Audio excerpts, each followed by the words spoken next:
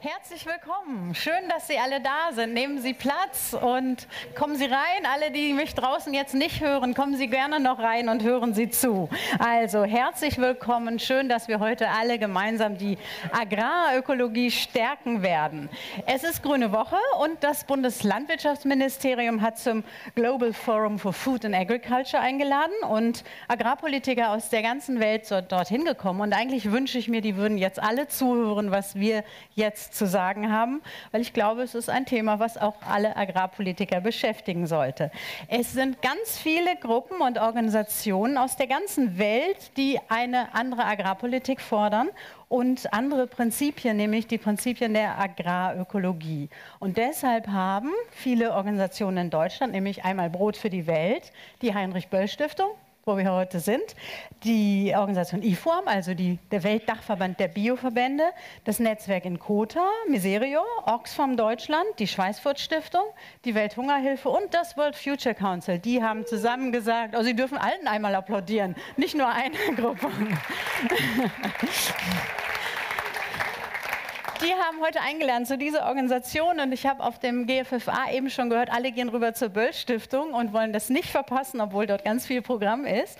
Ähm, die haben eingeladen, um Agrarökologie zu stärken und um ganz viele wunderbare Beispiele aus der ganzen Welt zu präsentieren und um dann zu fragen, was heißt das jetzt für Agrarpolitik und welche Policies brauchen wir, um ähm, damit weiterzukommen. Von den vielen guten Beispielen dazu, dass es die Politik durchdringt, die gesamte Landwirtschaft. Und unsere Einladung sind auch viele prominente Vorkämpfer für eine neue Landwirtschaft gefolgt. Oma Obama ist hier, sitzt in der ersten Reihe. Welcome, Oma Obama, to our discussion. Founder of New Agriculture in Kenya. Ruth Richardson soll irgendwo hier sein. Sie ist die Leiterin der Global Alliance for the Future of Food. In the back there. Thank you for coming.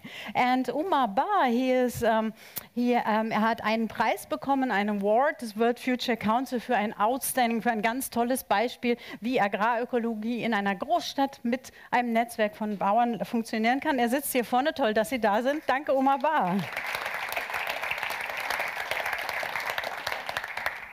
Der Verbraucherschutzsenator, Herr Behrendt, ist noch unterwegs oder wollte noch kommen. Ich sehe ihn noch nicht, aber wir haben auf jeden Fall Interesse an der Politik und ich freue mich, dass es so voll geworden ist hier. So, wir gucken zunächst einmal, was die FAO sagt zur Agrarökologie. Denn ähm, die FAO, kennen Sie alle, Landwirtschafts- und Ernährungsorganisation der Vereinten Nationen, die hat Agrarökologie in den letzten Jahren richtig, richtig vorangebracht und ähm, setzt sich dafür ein auf ganz vielen Ebenen mit Jugendkonferenzen, mit verschiedenen regionalen Konferenzen in einzelnen Bereichen. Ja, und wir sind ganz froh, dass ein Mitarbeiter aus dem Team Agrarökologie und Ökosystemleistungen von der FAO jetzt zur Begrüßung einmal sagen wird, worüber reden wir überhaupt Agrarökologie und warum ist Agrarökologie so wichtig? Why is it so important? Aus Rom, Abram Bixler. Thank you very much for coming and presenting FAO policy. Abram Bixler.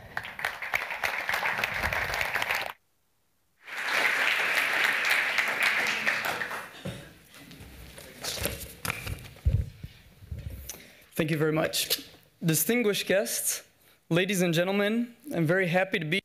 Ähm, meine Damen und Herren, ich bin äh, sehr froh, heute hier zu sein und äh, Ihnen auch die Vision von FAO zum Thema vorzustellen.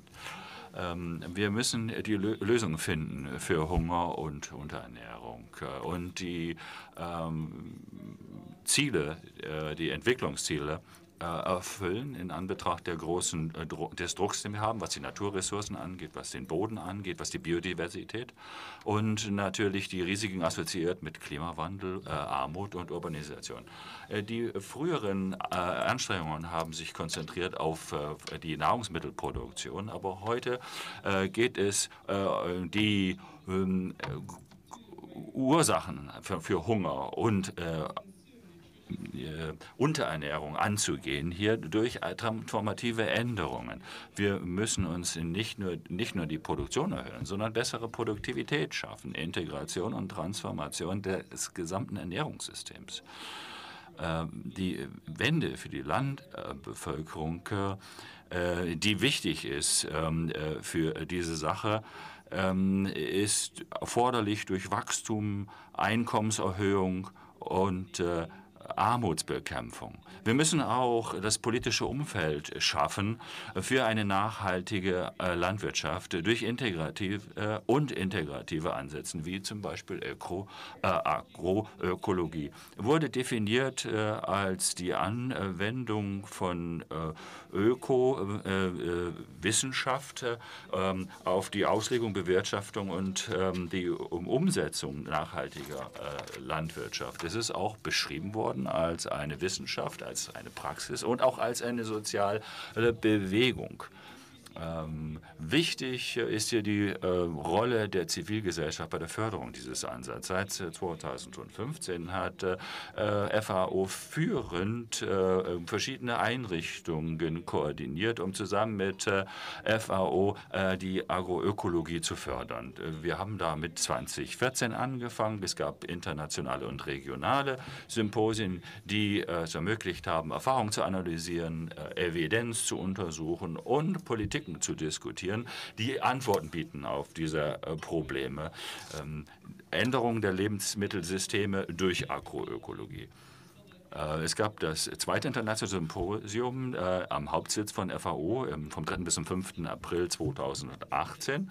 Es waren 780 Teilnehmer dort, äh, Vertreter von 72 Regierungen und sechs UN-Organisationen, die gemeinsam die Erfahrung analysierten, die Evidenz und öffentliche Politiken, die Lösungen bieten sollen ähm, für die Probleme im Landwirtschaftsbereich und in der Ernährungssystem.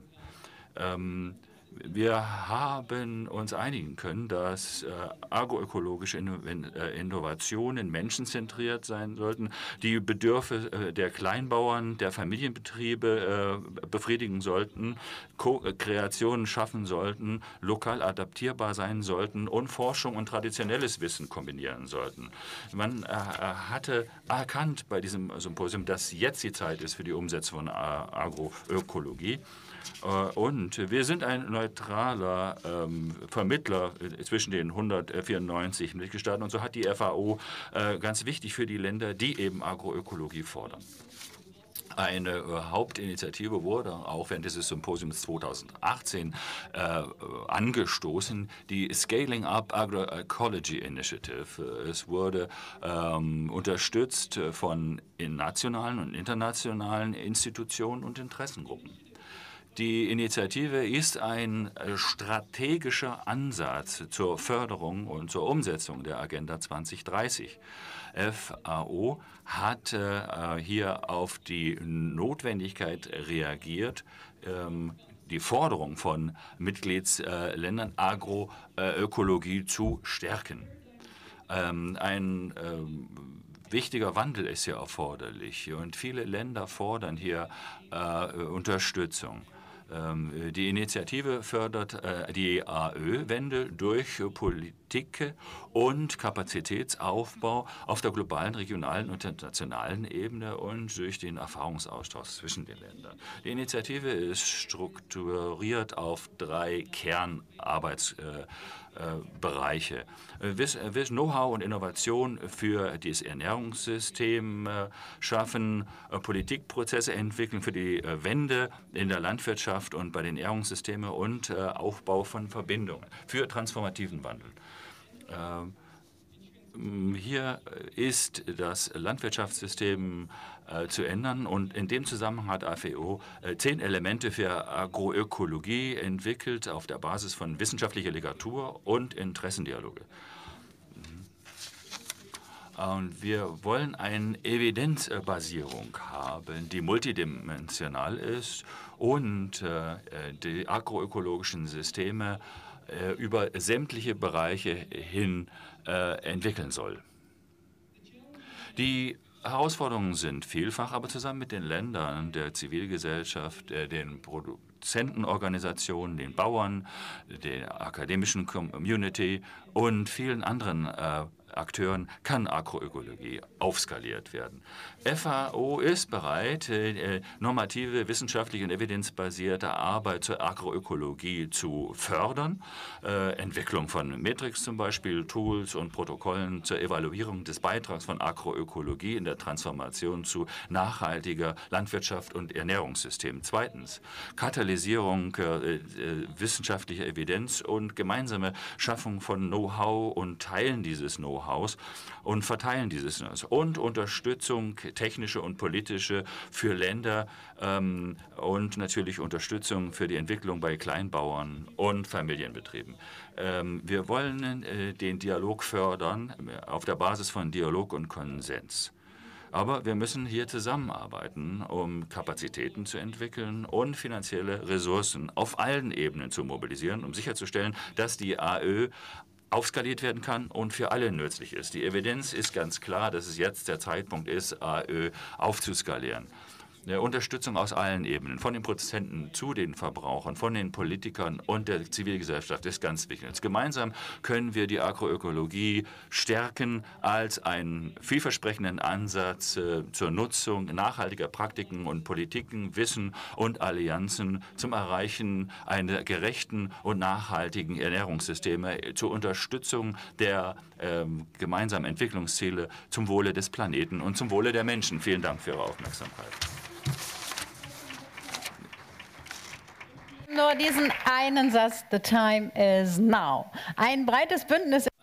Und das ist, ja, jetzt ist die Zeit, hat er gesagt. Äh, und äh, zu verbreiten und in die Politik hineinsickern zu lassen. Und zwar in einem ganz breiten partizipativen Prozess haben ähm, diese Organisationen ein Positionspapier erarbeitet, darüber gestritten, gerungen um Definitionen, um den besten Weg, die größte Klarheit zu schaffen, was können wir damit erreichen mit Agrarökologie. Und sie haben auch formuliert, was die deutsche Bundesregierung tun sollte, um Agrarökologie wirklich voranzubringen. Und inzwischen haben dieses Positionspapier 56 Organisationen unterzeichnet. Es ist echt schon mal eine Menge Verbände, das sind viele, viele Menschen, die dahinter stehen. Aus der Umweltbewegung, aus der Biolandwirtschaft, aus dem Naturschutz, Handwerker sind dabei, Entwicklungsorganisationen, Ernährungsräte. Sie alle wollen jetzt Agrarökologie voranbringen, nach oben bringen. Und die Referentin für Landwirtschaft und Welternährung von Miserio, Sarah Schneider, die stellt es vor. Und sie hat auch mitgearbeitet an einem Papier der katholischen Entwicklungsorganisationen weltweit. Das heißt, sie ist ja, national und global, wird sie uns sagen, was Agrarökologie, Agrar Agrarökologie leisten kann und vor allen Dingen, was daraus für die Politik fordert. Sarah Schneider, schön, dass Sie hier sind.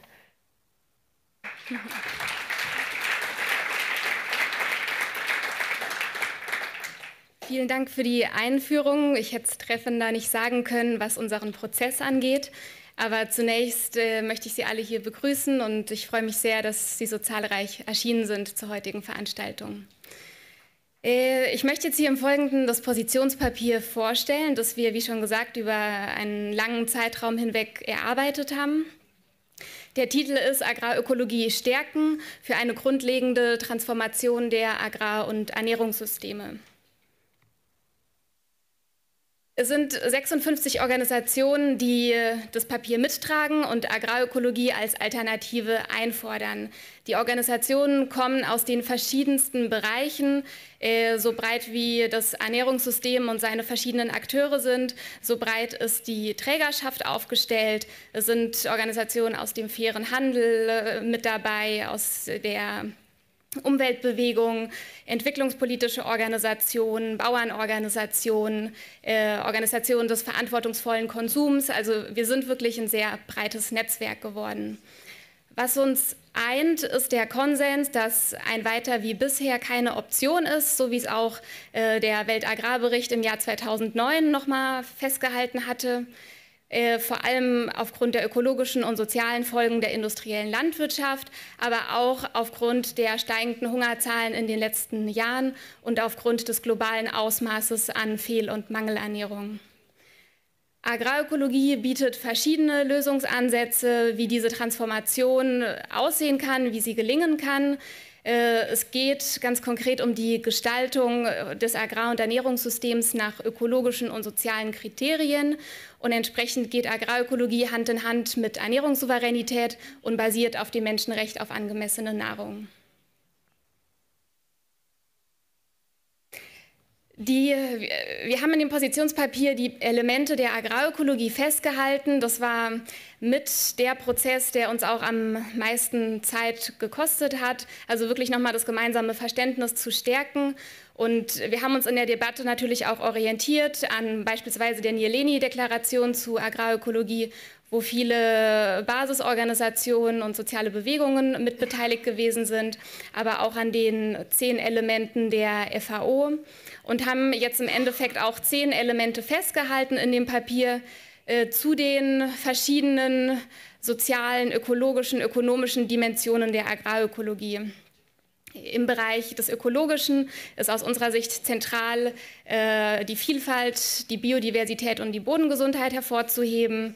Äh, es geht insbesondere darum, die Selbstregulationsfähigkeit im Agrarökosystem zu stärken und dadurch möglichst widerstandsfähige Systeme zu schaffen, die eben auch äh, dem Klimawandel gegenüber widerstandsfähig sind. Sozial, ökonomisch äh, geht es darum, die bäuerliche Agrikultur zu stärken.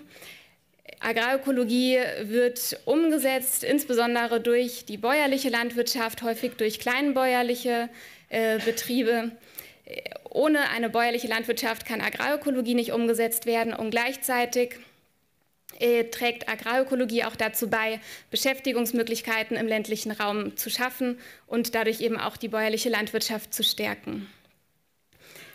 Agrarökologie äh, setzt auf die Stärkung und auf den Aufbau von lokalen Ernährungssystemen, lokale Märkte, regionale Wirtschaftskreisläufe sollen auch gestärkt werden und das, äh, also vor allem auch so die Ernährungssouveränität der produzierenden Familien selbst, der lokalen Communities äh, steht im Vordergrund. Dann geht es auch um äh, weniger Abhängigkeit, insbesondere von Agrarchemikalien, aber auch von globalen Lieferketten und mehr Autonomie, insbesondere der ErzeugerInnen selbst, die häufig äh, gerade auch in den globalen Lieferketten das schwächste Glied sind. Äh, also diese Machtverhältnisse werden auch bei Agrarökologie in Frage gestellt. Ganz konkret, was das Politische angeht, äh, äh, legen wir Wert auf Beteiligung und Mitsprache. Das heißt, es geht auch darum, Strukturen und Organisationsformen zu schaffen, die Mitsprache und Beteiligung ermöglichen, mit dem Ziel, möglichst effektive förderliche Politiken zu erarbeiten, die dann entsprechend auch Agrarökologie umsetzen. Auf der politischen Agenda gibt es viele Prozesse, wo Agrarökologie äh, ganz konkret äh, eine Rolle spielt aktuell. Es wurde eben schon erwähnt, die Scaling Up Agroecology Initiative, die während dem Agrarökologie-Symposium im April gelauncht wurde und die Agrarökologie zusammen mit der Agenda 2030 und den SDGs umsetzen möchte. Dann äh, wurde Agrarökologie mittlerweile offiziell aufgenommen in die Programmarbeit der FAO, aber auch des CFS, also des UN-Welternährungsausschusses. Beispielsweise wird der HLPI-Bericht erarbeitet zu Agrarökologie und nachhaltigen Ernährungssystemen. Dieser Bericht wird im Oktober von diesem Jahr veröffentlicht und wird hoffentlich starke politische Empfehlungen auch beinhalten. Dann läuft natürlich äh, weiterhin die Agenda 2030 und ihre Umsetzung. Hierzu hat auch die FAO in verschiedenen Gelegenheiten nochmal ganz klar gemacht, dass eine Transformation des Ernährungssystems nötig ist, wenn wir die Agenda 2030 umsetzen wollen. Äh, also die Art, wie Lebensmittel produziert werden, wie sie verarbeitet werden, wie sie gehandelt, verteilt und konsumiert werden äh, muss sich verändern, wenn wir die Entwicklungsziele, die SDGs, erreichen wollen. Laut FAO trägt Agrarökologie zu rund zehn der SDGs bei. In den Klimaverhandlungen ist Agrarökologie immer wieder eingespeist worden aufgrund äh, des verschiedenen Potenzials, einmal Treibhausgase zu reduzieren und auf der anderen Seite auch die Landwirtschaft widerstandsfähiger zu machen. Hier wurde es vor allem von zivilgesellschaftlicher Seite immer wieder eingebracht. Und parallel ist es laufen eben aktuell die UN Decade on Family Farming, jetzt seit diesem Jahr und seit dem Jahr 2016 die UN Decade of Action on Nutrition, äh, zwei relevante Prozesse, äh, wo Agrarökologie Teil von ist. National äh, haben wir seit, ich würde sagen, dem Herbst 2017 eine Reihe von Fachgesprächen gestartet, äh, mit dem BMZ und dem BMEL und verschiedenen äh, zivilgesellschaftlichen Organisationen, wo wir natürlich auch äh, jetzt die Hoffnung haben, dass wir das weiterhin fortführen können. Und es ist der runde Tisch für Ökolandbau geschaffen worden, wo es dann jetzt in die Phase geht, die ökologischen Wissenszentren äh, umzusetzen. Diesbezüglich wird uns sicher Herr Schmitz nachher mehr erzählen. Zu den politischen Forderungen.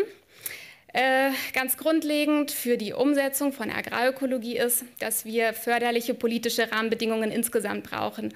Entsprechend äh, ist unsere erste Forderung an die Bundesregierung, dass sie eine Stellungnahme veröffentlichen, wo sie erstmal auch das Potenzial von Agrarökologie anerkennen äh, und sich entsprechend dann auch dazu committen, es schrittweise umzusetzen. Dann äh, grundlegend äh, ist es nötig, dass äh, schädliche Politiken, die quasi diametral zu Agrarökologie stehen, identifiziert werden und entsprechend auch beendet werden können und dass wir zunehmend Politikkohärenz anstreben, insbesondere auch in den Bereichen Agrar, Handels, Energie, Saatgut und Ernährungspolitik. Zu der Entwicklungszusammenarbeit ganz konkret. Äh, wir schlagen vor, dass Agrarökologie als zentrales Förderkonzept zur Armutsbekämpfung im ländlichen Raum anerkannt wird und von dem BMZ auch als solches in, dem, in seinem Konzept zur ländlicher Entwicklung integriert wird. Dann äh, schlagen wir vor, dass ein internationaler Beirat eingerichtet wird, der das BMZ in seiner Arbeit zur Agrarökologie begleitet. Äh, wir fordern, dass äh, kontraproduktive gegensätzliche Initiativen wie Agra nicht weiter gefördert werden, da es keine Koexistenz der verschiedenen Ansätze im Endeffekt geben kann. Wir wollen das BMZ aber dazu motivieren, eine agrarökologische Geberallianz ins Leben zu rufen und ganz konkret selbst im Jahr äh, jetzt 2019 bis 2021 äh, Mittel zur Verfügung zu stellen. Äh, wir denken da an 300 Millionen Euro zur nationalen und internationalen Förderung von Agrarökologie, ganz konkret 200 Millionen für die Scaling Up Agroecology Initiative der FAO und äh, beispielsweise 100 Millionen für ein Förderprogramm Agrarökologie und Frauen. Äh, dann äh, zum CFS, UN-Welternährungsausschuss, wo eben gerade ein äh, wichtiger Workstream zu Agrarökologie läuft. Hier ist es unser zentrales Anliegen, dass die politischen Prozesse partizipativ gestaltet werden, dass vulnerable und insbesondere marginalisierte Gruppen einbezogen werden und ihnen die Mitsprache ermöglicht wird dass die Erarbeitung des HLPI-Berichts so konsultativ wie möglich voranschreitet und dass in den Debatten rund um den äh, Bericht und um die Arbeit des CFS zu Agrarökologie folgende Elemente berücksichtigt werden. Einmal, dass Agrarökologie verstanden wird als äh, dieser Dreiklang aus Wissenschaft, Praxis und soziale Bewegung, also dass es diese drei Komponenten hat und braucht und dass Agrarökologie als holistischer, systemischer und menschenrechtsbasierter Ansatz äh, anerkannt wird. Äh, dann äh, ist es uns ein Anliegen, dass kleinbäuerliche Erzeugerinnen und ihre Wissenssysteme im Fokus stehen, also quasi, dass, dass sie anerkannt werden und äh, als solche eben auch in den politischen äh, Debatten äh, ja, teilhaben können. Und äh, dann zuletzt, dass sich die Bundesregierung bzw. die Delegation in Rom sich entsprechend einsetzt für starke Politikempfehlungen zur Einführung und Umsetzung von agrarökologischen Politiken. Äh, Soweit äh, von mir fürs Erste zum Positionspapier. Äh, Im Detail finden Sie dann in der gedruckten Fassung, die auch ausliegt, noch viel mehr zu unseren Positionen und Forderungen. Dankeschön. Vielen Dank, Sarah Schneider.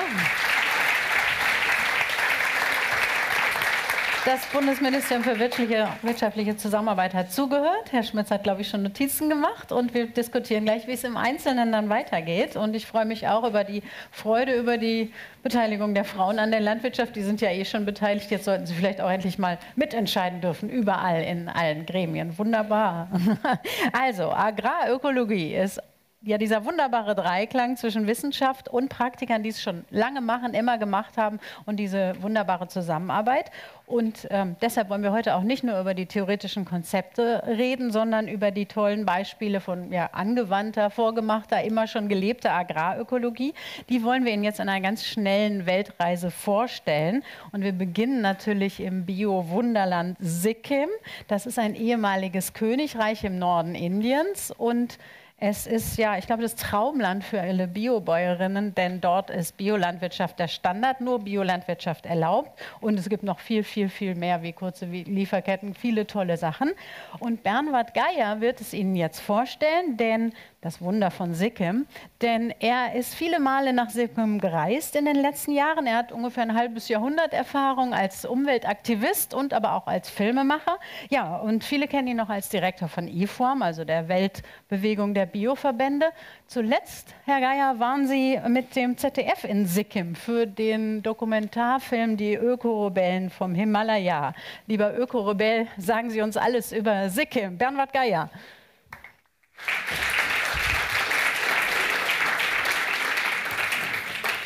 Ja, liebe Tanja, ich sage einfach mal liebe alle.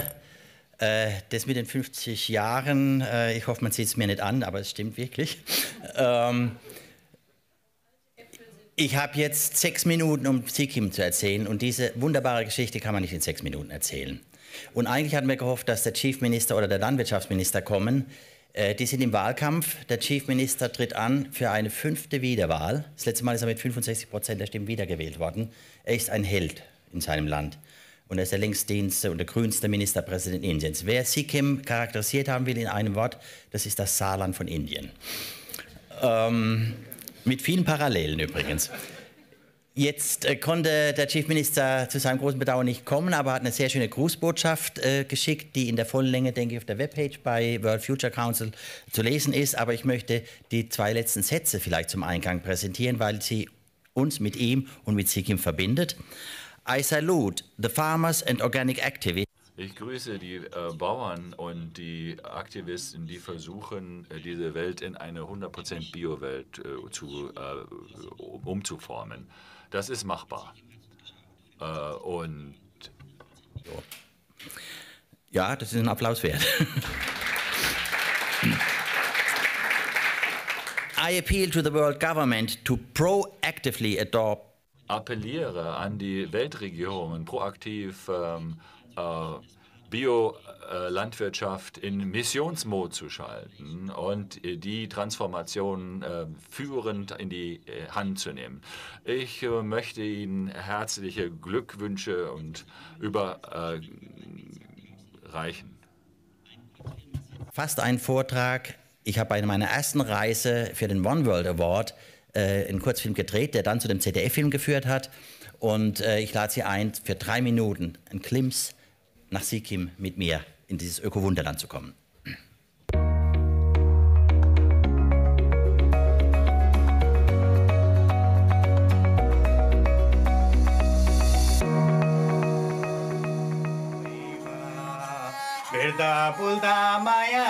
The former kingdom of Sikkim is an Indian federal state between Bhutan and Nepal.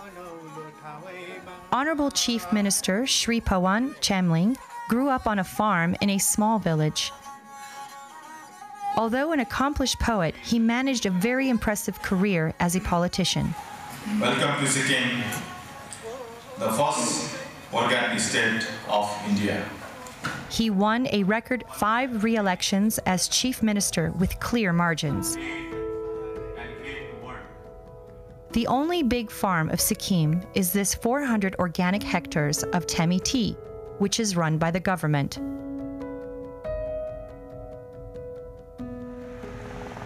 Horticulture research is carried out on this state farm.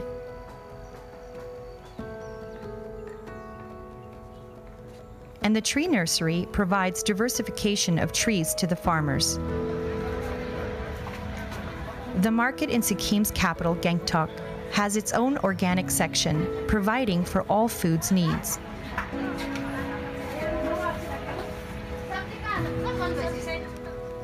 Model farms and farmer field schools have been fundamental in meeting the challenge to convert over 65,000 farmers to organic farming.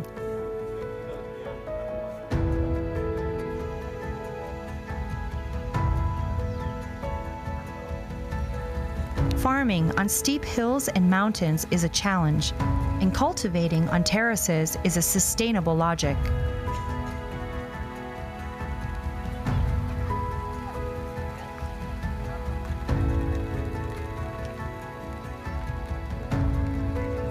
Farmers learn about many different ways to make compost. Most popular in India is vermicompost, which shows the best results. Also inspired by Gandhi, Chief Minister Chamling has become a worldwide unique champion and hero by converting all farms of Sikkim to organic farming. May the world follow his example and inspiration. My message is to create an organic, pollution free, and clean world. My message is chemical free world. If we want to protect our planet, we go for organic farming.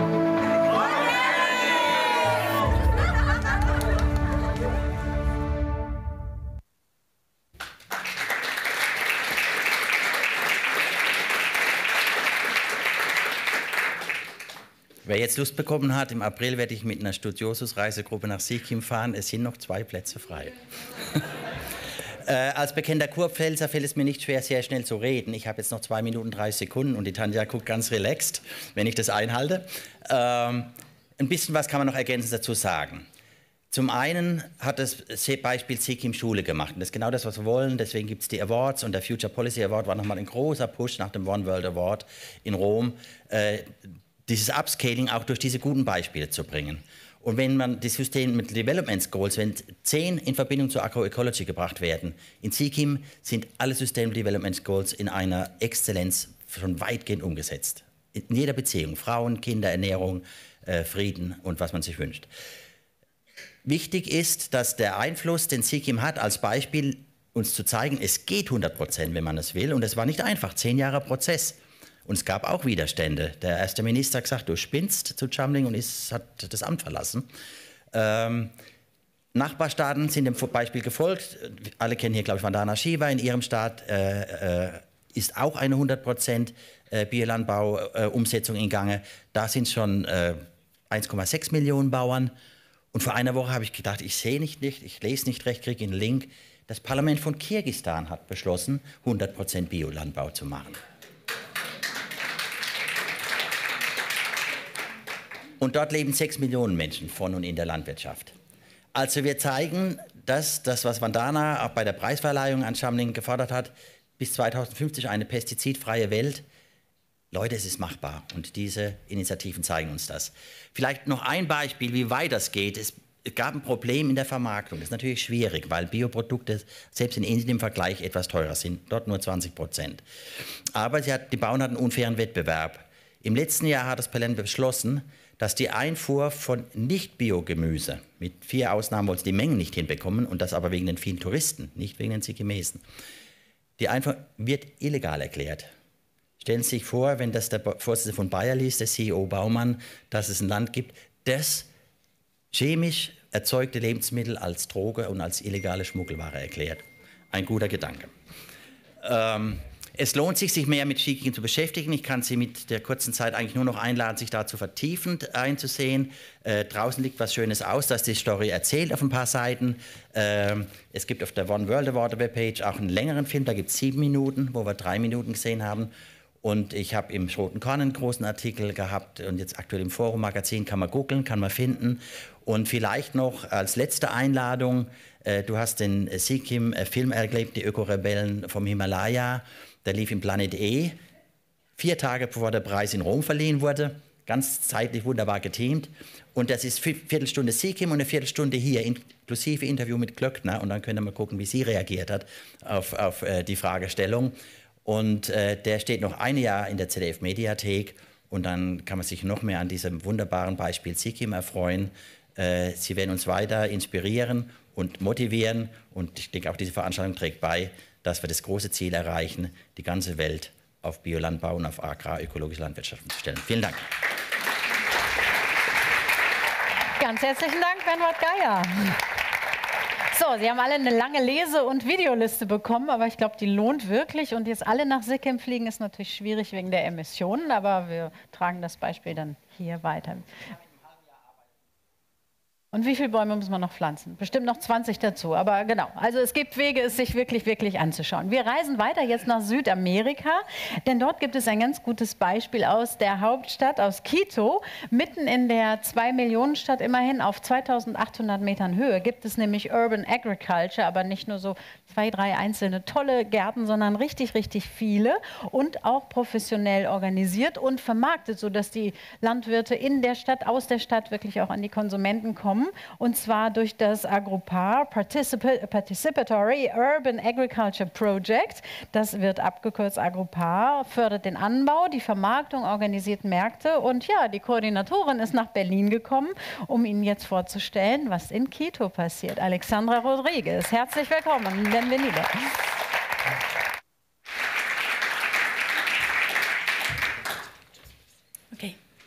Um, good afternoon. It is a pleasure to be here and to greet you on behalf of Mauricio. Ja, ich freue mich sehr, dass ich auch im Namen des Bürgermeisters von Quito heute Nachmittag hier zu Ihnen sprechen kann. Und es geht um den agri-ökologischen Kontext. Im Jahr 2000 haben wir bereits begonnen mit einer Reihe von Projekten in Quito und in der Nähe der Stadt. Es ging um die Einbindung agroökologischer Projekte in die Stadtverwaltung.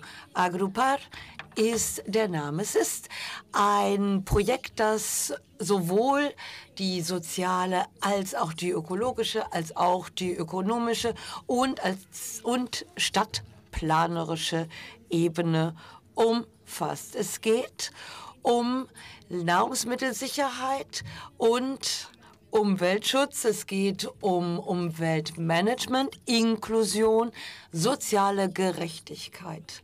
All das findet sich also in unserem Projekt. Wir haben also hin wir sind also hingegangen und haben eine ganze Reihe von Zielen definiert, wie zum Beispiel durch diese Stadtgärten oder Ökogärten in den Städten Nahrungsmittelsicherheit, Nahrungssouveränität zu erreichen, Einkommen zu generieren, Arbeitsplätze zu schaffen und die Lage der Umwelt insgesamt zu verbessern. Und versucht wurde das und wird es über Strategien wie zum Beispiel Training, technische Unterstützung, die Förderung von verantwortlichem Konsum, kurze Kommerzialisierungsketten, alternative Technologien, eine Kreislaufwirtschaft, eine kooperative Ökonomie und Mikrokredite. Wir versuchen, die Communities und die Ökosysteme gewissermaßen zusammenzubringen und versuchen tatsächlich eben im Bereich Nahrungsmittelsicherheit Souveränität zu erzielen. Das ist das, was sozusagen eine Priorität im Projekt ist. Wir sehen nämlich Nahrungsmittelsicherheit und Souveränität in diesem Zusammenhang als Recht, nicht als Luxus. Wir betrachten im Zusammenhang mit diesem Projekt vor allen Dingen auch die Frauen. Wir sind also die Teilnehmer, Teilnehmerinnen. Frauen stellen in vielen Familien den Haushaltsvorstand. Wir betrachten aber nicht nur die Frauen, sondern auch Migrantinnen, Geflüchtete und andere als eine Zielgruppe, die wir vor allen Dingen einbeziehen wollen. Wir haben und das sieht man hier auf der Karte ganz schön, auch große Bereiche, die von Mangel und Fehlernährung gekennzeichnet sind, vor allen Dingen was Kinder angeht. Auch dieses Thema targetieren wir. Es geht um nachhaltige Produktion, es geht um verantwortlichen, verantwortungsbewussten Konsum. Wir produzieren also unsere Lebensmittel in landwirtschaftlichen Kontexten, im periurbanen Kontext wie auch in den Stadtgärten. Wir bauen Nutzpflanzen an, wie auch medizinische Pflanzen.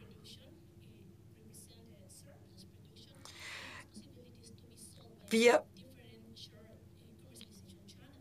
nutzen zum Vertrieb der Produkte unterschiedliche Vertriebskanäle. Es wird also direkt aus den Gärten herausverkauft, aber auch in Geschäften. Und über Restaurants wird das, äh, was produziert wird, ebenfalls vertrieben. Dann sind es aber vor allen Dingen die Biomärkte und äh, das sieht man hier auf der Karte sehr schön dargestellt, über die diese Produkte vertrieben werden. Auch das ist natürlich ein ganz wichtiger Aspekt im Zusammenhang mit unserem Versuch, die Produktion zu demokratisieren. Agroökologie und Produktion, demokratische Produktion gehen sozusagen Hand in Hand. Was ist es nun, was die Communities und die Bezirke und Territorien, auf denen wir aktiv sind, bereichert? Es ist zum einen ein präventiver Ansatz, was die Gesundheit angeht gesunde Ernährung als Menschenrecht, nicht als Luxus. Das sagte ich bereits. Wir schaffen eine Plattform für ökologisches Engagement und Ökoaktivismus und Food Governance. Wir schaffen landwirtschaftliche Innovation über partizipative Prozesse. Was wir erreicht haben in den Monaten und Jahren, in denen wir bereits tätig sind, ist einmal 380 organisierte Gruppen und UnterstützerInnen, 4500 Menschen, die pro Jahr von diesen Projekten profitieren. Wir haben 3500 implementierte Gärten. Wir haben 19.000 Menschen ausgebildet. Wir haben eine Produktivinfrastruktur geschaffen. Wir haben 17 Biomessen gestaltet bzw. beliefert. Wir haben eine enorme Diversifizierung der Ernährung erreicht. 150 unterschiedliche Lebensmitteltypen bieten wir. Wir erreichen insgesamt wir äh, bearbeiten insgesamt 40 Hektar Land, haben dazu beigetragen, dass ein zusätzliches Einkommen von 175 US-Dollar pro Monat erreicht werden konnte. Wir produzieren jährlich an Lebensmitteln 960 Tonnen und haben ein Kollektiv geschaffen von Stadtfarmern. Jährlich bemisst sich der Umsatz, den wir erreichen, auf 350.000 US-Dollar und das allein über die Biomessen, an denen wir beteiligt sind. Wir sind als Agrupar Vertreter der Stadt in einer ganzen Reihe von anderen Initiativen und Gruppen. Die Ruhr Foundation ist dabei, das MOFPP, City Food, C40 und andere. Und wie gesagt, wir sind der Meinung, dass die Gärten kein Selbstzweck sind, sondern ein Mittel zum Zweck. Und wir haben einiges erreicht in Quito. Dankeschön. Herzlichen Dank, Alexandra Rodriguez. In Deutschland diesem Beispiel folgen, kommunale Ernährungspolitik voranbringen und so viele Organisationen unterstützen. Wir reisen weiter. Diesmal geht es nach Afrika, nach Malawi in Ostafrika zwischen Tansania und Mosambik. Und was dort passiert, erzählt uns jetzt die Referentin für Landwirtschaft und Ernährung bei der Welthungerhilfe, Lena Bassermann. Berichten Sie von Ihrer Reise. Einen Applaus für Lena Bassermann.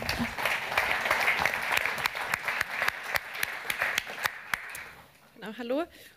Ähm, ja, auch von mir herzlich willkommen.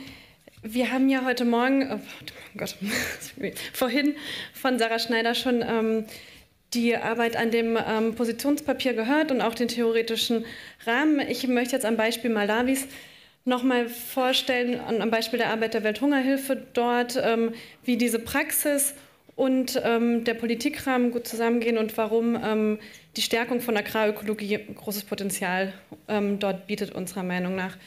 Ähm, die Ausgangslage in Malawi ist die folgende, dass es ein Land ist, das sehr stark von Hunger und den Folgen des Klimawandels ähm, betroffen ist und das dort eine anhaltende Herausforderung darstellt. Es ist eines der Länder mit dem niedrigsten Pro-Kopf-Einkommen weltweit und gleichzeitig eines der dicht besiedelsten Länder.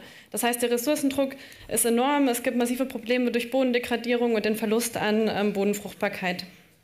Äh, das führt zu dem Ernährungsstatus oder für die Ernährung der, oder den Hungerstatus hat das massive Auswirkungen. Circa ein Viertel der Bevölkerung ist unterernährt. Bei Kindern sind es fast 40 Prozent, die chronisch unterernährt sind.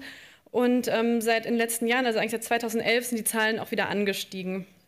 Die Regierung in Malawi hat seit 20 Jahren eigentlich massiv ähm, die Ansätze der Grünen Revolution unterstützt und ähm, vor allen Dingen in die Subventionierung von Maisanbau investiert. Fast das gesamte landwirtschaftliche Budget ging in die Abgabe von subventioniertem Dünger und Pestiziden und, und ähm, industriellem Saatgut ähm, drauf ähm, wurde investiert, hat aber eben zwar zu kurzfristigen Ertragssteigerungen geführt, aber eben nicht zu einem, aber dann auch zu einer Stagnierung. Das heißt, ähm, wir sehen in Malawi ein großes Potenzial für Agrarökologie, das zu ändern und auch eben eine langfristige Veränderung herbeizuführen. Ähm, die Regierung hat das zumindest, was die Ernährung der Bevölkerung betrifft, schon anerkannt und weitläufige Programme zu einer Diversifizierung der Ernährung aufgesetzt. Allerdings ähm, und dort auch die Einbeziehung von traditionellen und indigenen Sorten in die Ernährung ähm, unterstützt. Allerdings ist auch hier die fehlende Politikkohärenz, haben wir schon angesprochen, gibt es keine Verknüpfung zu der Agrarstrategie und zu den, ähm, zu den Agrarpolitiken. Und ähm, es gibt keine Strategien, die Saatgutvielfalt fördern und den Erhalt oder die Stärkung von bäuerlichen Saatgutsystemen fördern.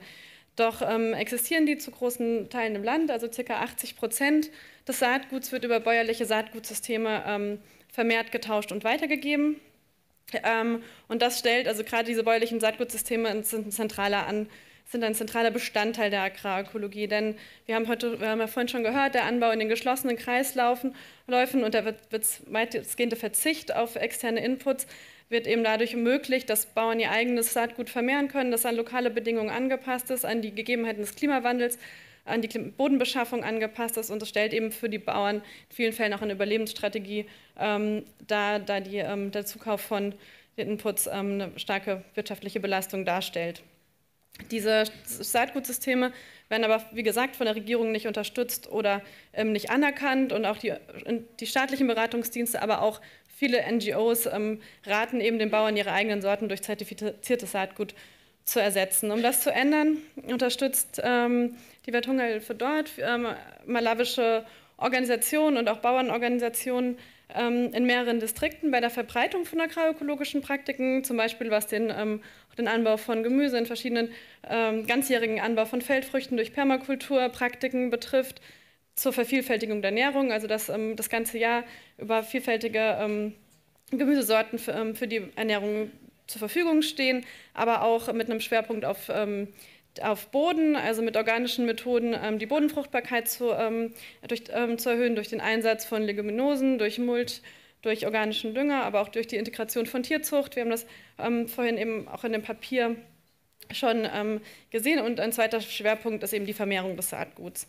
Ähm, der Austausch ähm, von Saatgut, die Weitergabe von Wissen, aber auch zusammen mit lokalen Forschungsinstituten die Weiterentwicklung und Anpassung an die klimatischen Bedingungen, zum Beispiel von Mais- und Sojasorten. Ähm, in einer eingangs durchgeführten Studie kam eben auch raus, dass es, viele Bauern gibt, die bis zu 50 verschiedene Sorten selbst züchten und vermehren, aber dass sich das Wissen teilweise sehr stark auf einzelne Bauern konzentriert und dadurch wurde dieser verstärkte Wissensaustausch, die Wissensweitergabe von Farmer zu Farmer ähm, wieder stärker ähm, praktiziert und vermehrt. Und das führt auch dazu, dass verschiedene Sorten, die über ähm, längere Zeiträume nicht mehr angebaut wurden, oder ignoriert wurden, wieder in den Anbau wieder weiter verbreitet und in den Anbau integriert werden konnten, die Ernährung, was sehr positive Effekte auf die Ernährung und die Gesundheit hat. Ähm, ich denke, daran sieht man ganz gut, wie das eben auch Bauern stärkt. Auch die Wertschätzung für die eigene Vermehrung von Saatgut konnte stark erhöht werden. Ähm, es gibt auch Trainings von ähm, Regierungs-Extension Officern, also so auch der Versuch, das weiter auszubreiten. Aber gleichzeitig, was wir eben auch, denke ich, stark an dem Agrarökologie-Ansatz von starker Bedeutung ist, ist eben die Unterstützung auch durch ähm, Politikmaßnahmen und ähm, die Lobbyarbeit von Bauernorganisationen, von lokalen Organisationen.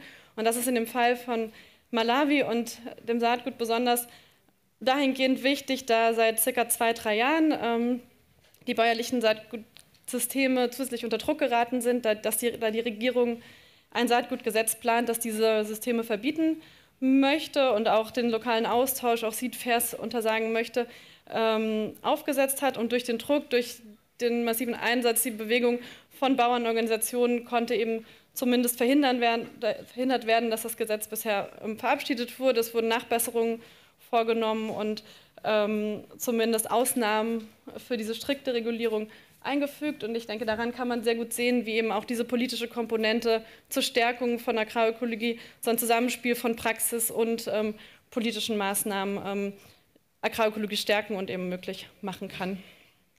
Dankeschön.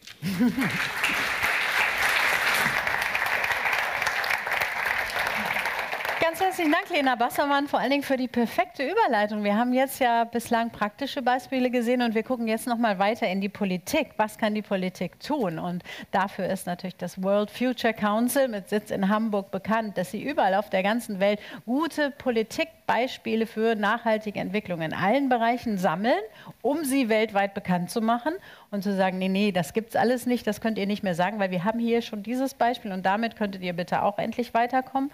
Ja, und für Agrarökologie hat das World Future Council auch einen extra Preis ausgelobt, nämlich die Outstanding Practices in Agroecology. Und Professor Dr. Franz Theo Gottwald Sie kennen ihn als Vorstand der Schweißfurt Stiftung, die sich ja seit vielen, vielen Jahrzehnten dafür einsetzt, dass bäuerliche Landwirtschaft und auch das Lebensmittelhandwerk zusammengedacht sich weiter verbreitet und nicht in Vergessenheit gerät unter dem Druck einer ja, anderen Landwirtschaft. Wir wissen alle, dass es das nicht die Lösung sein wird. Also, Sie sind einmal Vorstand der Schweißfurt Stiftung und aber auch der Vorsitzende des Aufsichtsrats vom World Future Council. Ja, und Sie werden uns von den Preisträgern dieses tollen Preises berichten. Franz Theo Gottwald, schön, dass Sie hier sind. Und gemeinsam gucken wir zuerst einen Film über die Preisverleihung und die Sieger, ja? Dann gucken wir einmal auf den Bildschirm und dann gebe ich die Bühne frei.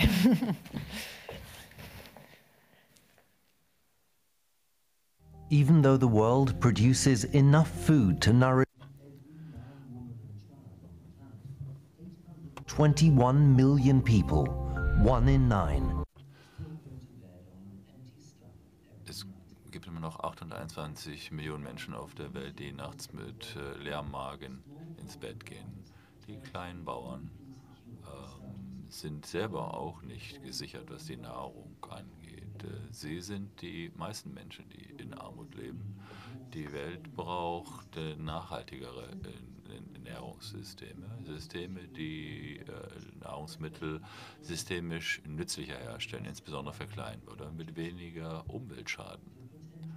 Potenzial für Agroökologie, für gesunde äh, Ernährung für alle und für soziale äh, Gerechtigkeit, Klimawandel, Minderung und äh, Biodegradierung ist international erkannt. Mit, Öko, mit Agroökologie ist die Wende in Richtung nachhaltige Landwirtschaft und Ernährungssysteme möglich.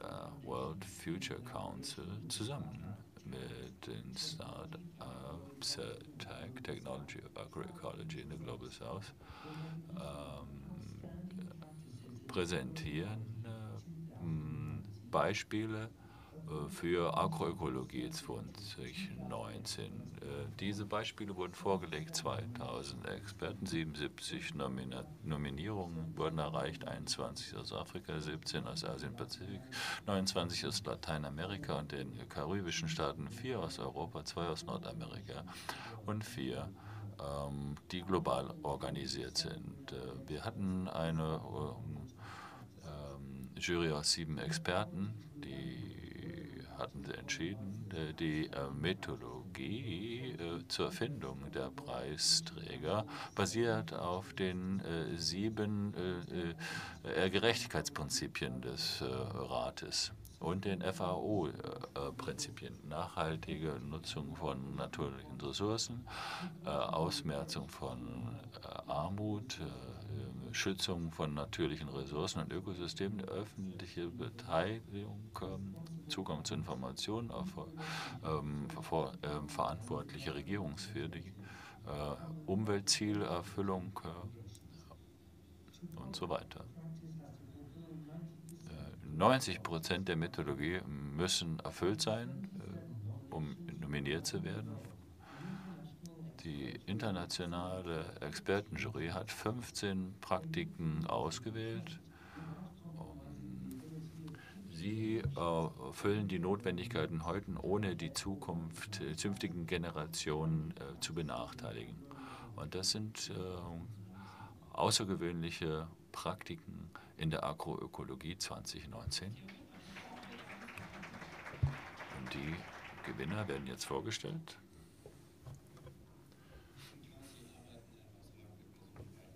Die Aoma Obama, die ich hier auch nochmal meinerseits herzlich begrüße. Und äh, dankbar bin ich für die langjährige großartige Zusammenarbeit mit unserer Vorstandsvorsitzenden Alexandra Wandel. Und in diesem Projekt hat uns äh, Ingrid Heindorf die ganze Koordination ermöglicht. Äh, dank auch der Zusammenarbeit erwähnt wurde es mit Tags. Ich würde gerne sagen, liebe Freunde, ähm, seit 1985 arbeite ich äh, für den ökologischen Landbau.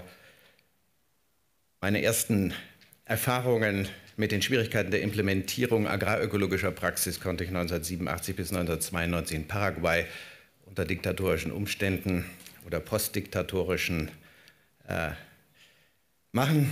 Schmerzhafte Erfahrungen auch. Es ging um Projekte mit Mbia, Tumajajo und Ibitoso, Indianerstämmen, die angesiedelt werden mussten und hineinfinden mussten in einen agrarökologischen, wie wir es damals schon nannten, Lebensstil.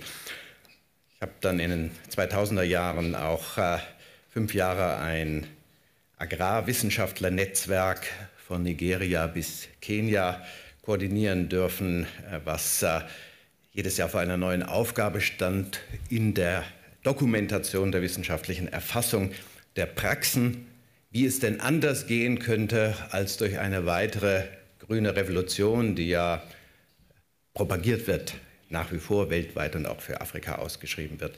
Wie es denn weitergehen könnte im Sinne einer systemaren Alternative. Insofern war ich jetzt sehr glücklich, dass äh, es dem World Future Council ermöglicht wurde, durch die Förderung von Tags äh, hier auf Praxis zu gucken, nachdem wir im letzten Jahr, und wir haben das gesehen mit Sikkim, Bernhard Geier hat es uns vorgestellt, äh, und äh, mit der Arbeit in Quito, Ecuador und anderen die politische Dimension auszeichnen durfte. Jetzt geht es also heute und hier eigentlich nur um einen Fokus, dass uns allen klar wird, agrarökologische Praxen in ihrer Vielfalt sind weltweit am Wirken, tragen weltweit zunehmend zur Ernährungssicherung bei.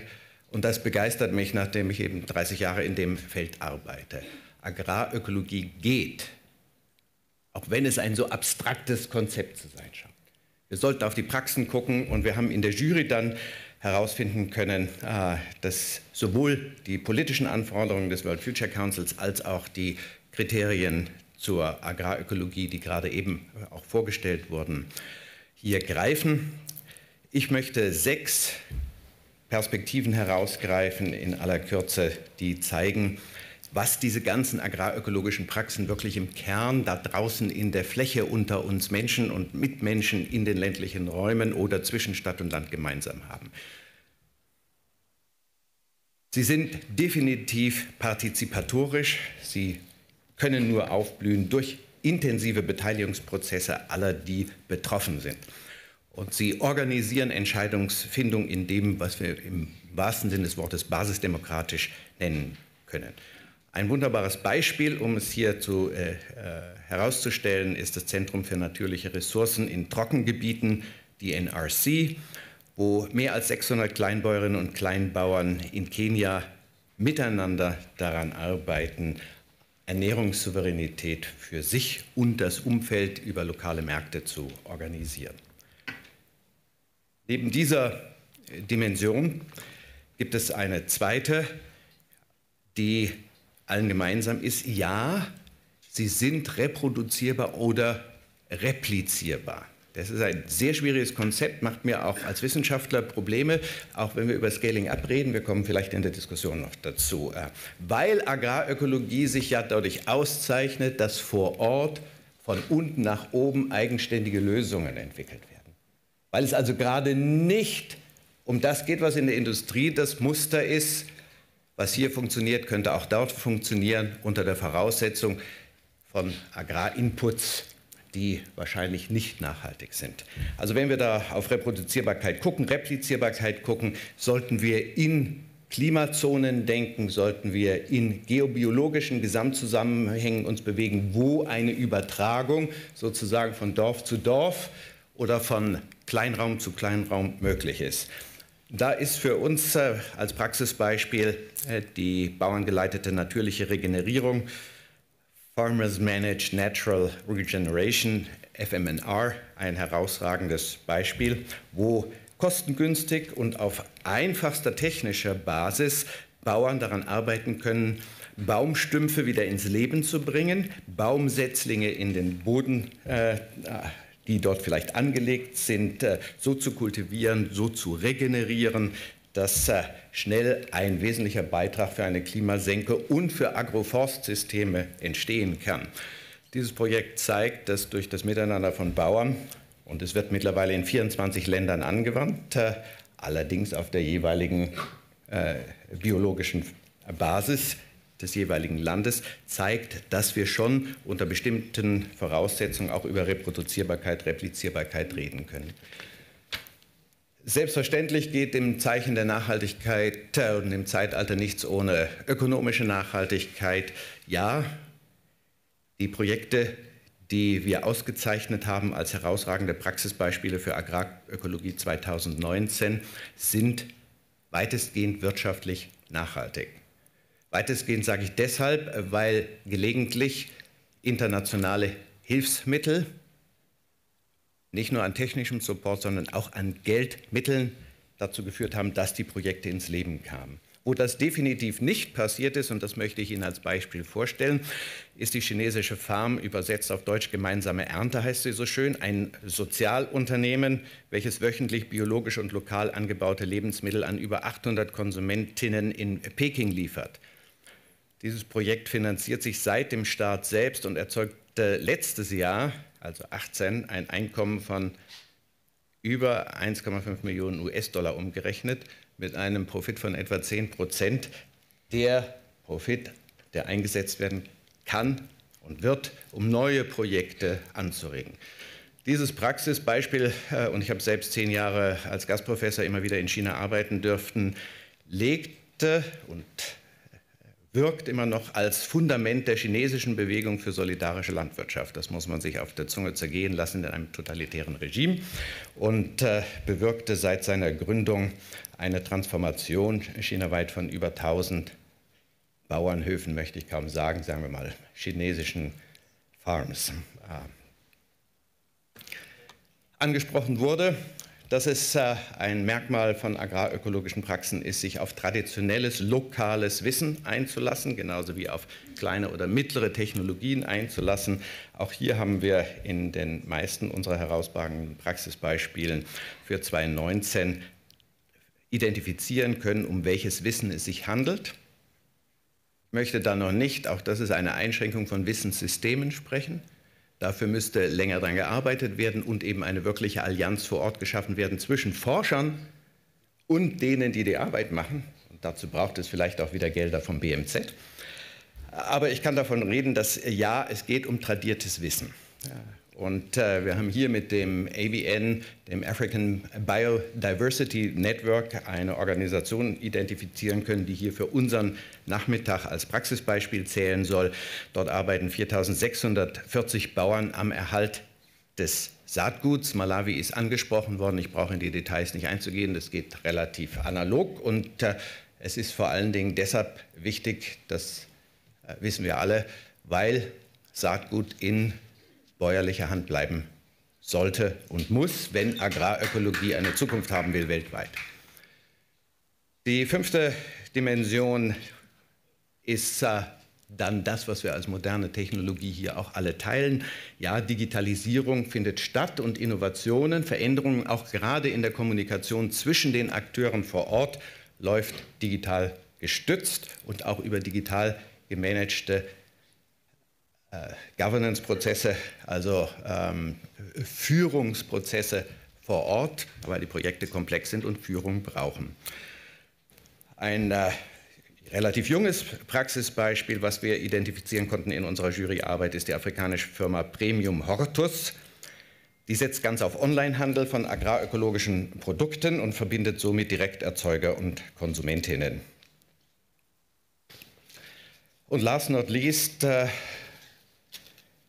neben der Biodiversität ist äh, die Klimarelevanz aller landbaulichen Praxen ein entscheidendes Kriterium für Zukunftsfähigkeit und äh, Enkeltauglichkeit. Äh, die von uns identifizierten Projekte und Praxen wirken nicht nur klimaresilient, sondern ich möchte sagen weitestgehend klimapositiv. Ich betone das auch weil wir hier natürlich im Wettbewerb zwischen der systemaren Alternative der agrarökologischen Praxis und dem, was industriell betrieben wird, in einem Nachhaltigkeitswettbewerb sind, weil wir brauchen die, nicht nur die Broschüren zu lesen, sondern es wird auch praktisch nachgewiesen, in Deutschland beispielsweise durch die DLG, dass es auch industrielle oder konventionelle äh, Landbaupraxen gibt, äh, die klimasmart, heißt es, sind. Äh, äh, funktionieren. Äh, aber Klimasmart unter den agrarfossilen und äh, synthetisch-chemischen Einflüssen ist etwas anderes als agrarökologisch klimapositiv zu arbeiten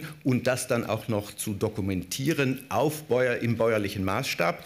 Unser schönstes Beispiel hier ist Sekem, es wurde schon erwähnt. Die konnten jetzt im letzten Jahr dokumentieren, wie sie in, durch ihre organischen Praxen 500 Millionen Tonnen CO2 binden und in bodenverbessernden Maßnahmen umsetzen könnten, inklusive der Pflanzung von 600.000 Bäumen. Also da gibt es auch große Stückzahlen, was mich äh, im Wettbewerb mit äh, industriellen äh, Systemen so fasziniert an dieser systemaren alternativen Welt der agrarökologischen Praxis. Herzlichen Dank. Theo, gleich auf dem Podium. Franz Theo Gottwald, wir haben einen Platz auf dem Podium für Sie reserviert und ich bitte ähm, noch einen Gast nach vorne, den Sie noch nicht kennen, der noch das Telefon weglegen muss, Herr Schmidt. Denn wir wollen jetzt darüber diskutieren, was wir daraus machen. Natürlich, was einmal so im Positionspapier steht und was wir daraus machen können, um es wirklich abzuscalen. Und dazu möchte ich Ihnen vorstellen, aus dem Bundesministerium für wirtschaftliche Zusammenarbeit und Entwicklung, Dr. Stefan Schmitz. Er leitet dort die Unterabteilung Eine Welt und kein Hunger. Dieses Ziel möchten wir wörtlich verstanden wissen. Schön, dass Sie hier sind. Herzlich willkommen. Äh, was hatten wir denn gesagt? Gesagt, einmal hier nach außen. Den mittleren Platz, den halte ich frei. Ja, und dann bitte ich noch einmal nach vorne Abram, Abram Bixler äh, von der FAO. Thank you for coming again. Und ähm, Sarah Schneider von Miserio, bitte noch einmal mit Applaus. Und hier, ja, Und hier vorne in der ersten Reihe sitzt Liam. Und wenn Sie Fragen auf Französisch, Spanisch, Englisch ja sowieso stellen können, dann übersetzt er schnell. Und das alles muss natürlich ins Mikrofon sein, sonst können die Übersetzer nicht äh, zurück auf Englisch übersetzen. Aber also Sie dürfen in allen, ziemlich vielen Fragen, haben wir eben eine Sprachen haben wir im Angebot, um zu fragen. Ja, schön, dass Sie alle hier auf dem Podium sind. Herr Schmitz, natürlich möchte ich gerne mit Ihnen beginnen, denn das Positionspapier hat ja direkte Forderungen auch an das, an das Entwicklungsministerium und überhaupt an die deutsche Politik gestellt. Ähm, wie haben Sie denn draufgebracht und wie, ja, wie weit können Sie denn unseren Vorschlägen folgen? Soll ich noch, sollen wir Punkt für Punkt vielleicht durchgehen? Die, ich fange einfach mal an. Ich fange einfach mal genau. an, dann fangen wir an zu plaudern und dann. Ähm, ich denke, ich kann dem, ich kann dem mit gutem Gewissen sehr gut folgen. Ich meine, das ist immer dann sehr billig. Man kriegt dann jemand, also mit Ministeriumsmitglied, jemand Frage gestellt und dann antwortet man, ja, machen wir alles schon. Es ist billig, weiß ich. Ähm, trotzdem möchte ich darauf hinweisen, ich glaube, wir haben äh, durch die Möglichkeiten, die wir durch die Sonderinitiative Eine Welt ohne Hunger haben, äh, hier in den letzten Jahren wirklich eine super Basis legen können in vielen Bereichen, die jetzt durch die verschiedenen äh, Vorträge angelegt wurden, die verschiedenen Aspekte, da auch wirklich aus deutscher Sicht äh, mehr zu machen. Ähm, ich habe die Liste der Preisträger jetzt gesehen ähm, und jetzt ohne, äh, ich kenne nicht alle unsere hunderte Projekte auswendig, aber ich habe direkt beim ersten Blick drauf gesehen, dass mindestens zwei aus dieser aus dieser mindestens zwei auch unmittelbar durch uns gefördert werden. Das ist dieses Farmers-led Natural Resource Management. Tony Rinaldo ist uns sehr gut bekannt. Ähm, und, und das SECAM-Vorhaben, das wird mit Sicherheit, das sind nicht die einzigen, aber ähm, äh, das zeigt auch, also wir, wir sehen genau diese Chancen in den Bereichen und wir suchen diese Partner. Ähm, wir, äh, ah ja, ich, ich gehe nochmal äh, zurück. Im letzten Frühjahr ähm, war ich auf Einladung der ähm, Abgeordneten des Europäischen äh, Parlaments, Maria Heubuch, in, äh, in Brüssel gewesen, zu einer sehr interessanten Veranstaltung über äh, Agrarökologie. Und das war, diese Veranstaltung war für mich auch nochmal in vielfacher Hinsicht so ein Augenöffner gewesen. Einer der interessantesten Beiträge für mich war, ähm, das, was britische Kollegen berichteten. Da war also britische Universität, die hatten untersucht ähm, das agrarökologische Profil unserer britischen Kollegen. Ja, DFID, DFID, Department for International Cooperation. Und das Ergebnis dieser Untersuchung, dieser Portfolioanalyse, was DFID weltweit macht im Bereich Agrarökologie oder die Verfolgung ökologischer Ansätze in dem, was, äh, was DFID im Bereich Agrar macht, war niederschmetternd. War echt niederschmetternd. Also das war 5% oder 10% äh, das, was, was die Kollegen dort äh, auf der Insel machen, gehorchte diesen Prinzipien. Leute, nee. Äh, zwei, zwei Reflexe bei mir. Erstens, da sind wir besser, aber wahrscheinlich sind auch wir nicht gut genug. So. Wir, äh, wir, BMZ. Ne, also nicht, was wir in Deutschland machen. Dazu fühle ich mich nicht beruht, dazu habe ich eine Meinung, aber das ist heute nicht mein Thema. Die dürfen Sie trotzdem ganz kurz ja, äußern. Das, Ganz kurz, hört keiner zu. Führen Sie mich nicht in die Falle hier. Bitte doch. Keine Presse da, die falsche Schlagzeile. Okay, okay, aber wir also, haben verstanden. So, Danke. Also, ne? Und äh, also erstens, ich bin überzeugt, dass wir in einer besseren Startposition sind. Gleichzeitig denke ich auch, es ist nichts, was man nicht noch besser machen kann. Wir haben uns dann im Team äh, äh, zusammengesetzt. Der Kollege Björn Niere von mir ist ja auch, der hört ja auch zu, unser Experte Agrarökologie, von dem habe ich viel gelernt. Und wir überlegen jetzt, was machen, wir? Wir machen so etwas jetzt auch. Das ist eine Vorbereitung. Wir werden unser gesamtes Portfolio, was wir im Agrarbereich machen, ähm, in der technischen Zusammenarbeit mit GIZ, in der finanziellen Zusammenarbeit mit KfW, werden wir jetzt mal unter die Lupe nehmen und mal schauen, wo kommen wir aus? Unter der Fragestellung Agrarökologie. Mhm. Ja?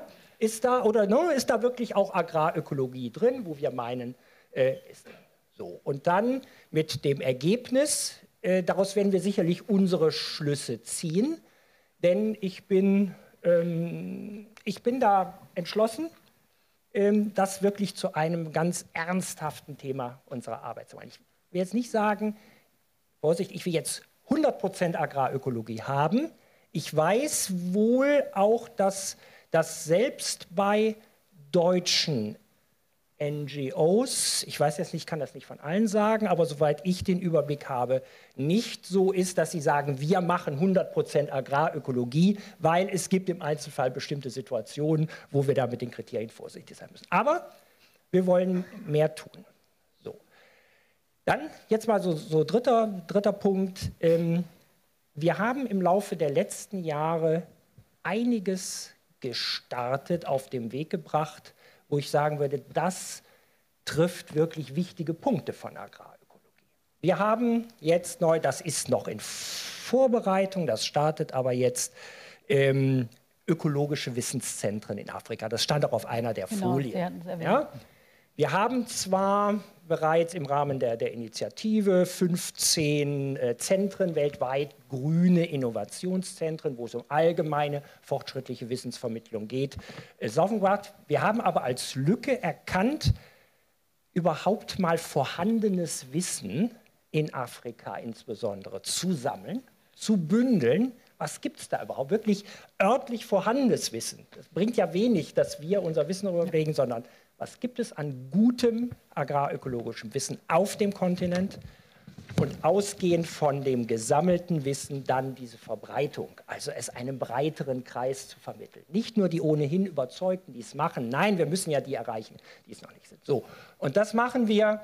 Ähm, wir haben äh, praktisch drei plus ein Zentren, drei plus eins Akteure. Den einen tue ich mal so ein bisschen zur Seite, den hole ich gleich nochmal aus dem Hut. Die drei Zentren werden aufgebaut, haben wir breit konsultiert im ähm, mit, auch mit zivilgesellschaftlicher Beteiligung äh, in Deutschland, um genau die richtigen Akteure zu bekommen. Im Senegal, in, äh, in Sambia und in, in Uganda ich solche Zentren aufzubauen. So. Gut, genau. Ich, genau. Ja, erstmal, erstmal für den ersten Überblick genau für, für das äh, wiedergespiegelt aus dem Entwicklungsministerium. Denn ich würde gerne, wir kommen auch noch mal auf diese Policies am Ende zurück. Ich würde gerne einmal noch fragen, denn die Autorinnen der Studie waren ja interessiert auch an einem Feedback. Wir haben jetzt gehört, im Entwicklungsministerium ist dieses Prinzip angekommen, noch nicht zu 100 Prozent, haben Sie gesagt, aber über die Fein, das Feintuning müssen wir nicht reden. Das Prinzip ist angekommen. Aber ich würde gerne Abram Bixler ähm, auch fragen nach, nach ähm, seinem Eindruck vom Positionspapier, von den Forderungen, ja vielleicht auch von der Arbeit des Bündnisses. Abram Blixler aus um, ähm, from a FAO perspective, please. Thank you very much. Uh... Danke, ich freue mich sehr, dass ich hier bin und ich danke auch für das Positionspapier. Was ich mit großer Freude sah, waren diese zehn Elemente, die das Papier aufführt. Denn die Idee ist doch, Agrarökologie als Tool zu nutzen, ein Instrument, das unterschiedliche Elemente vereint in der Komplexität der Systeme, wie wir sie kennen. Wir wissen, was die Anforderungen sind. Wir wissen, wie die unterschiedlichen Elemente sich gestalten auf der Nachhaltigkeit Nachhaltigkeitsebene. Und die Frage ist, wie können sie genutzt werden, um einen Übergang zu realisieren? Und insofern habe ich mich gefreut, dass es auch diesen politischen Fokus gibt. Ökologie als eine Möglichkeit, Armut auf dem Land zu bekämpfen. Zum Beispiel als einen Aspekt. Die FAO hat bis zum zweiten internationalen Agroökologie-Symposium im April 2018 immer gedacht, dass die FAO mit Blick auf Landwirtschaftspolitik weltweit identifizieren muss, welche Chancen es gibt, hier mehr zu tun, mehr zu erreichen. Und ich glaube, die Agrarökologie ist da tatsächlich ein gutes Mittel. Also die, so die Bekämpfung von Armut über Politik ist hier sicherlich sehr gut angelegt. Auch die ermutigenden Beispiele. Einverstanden?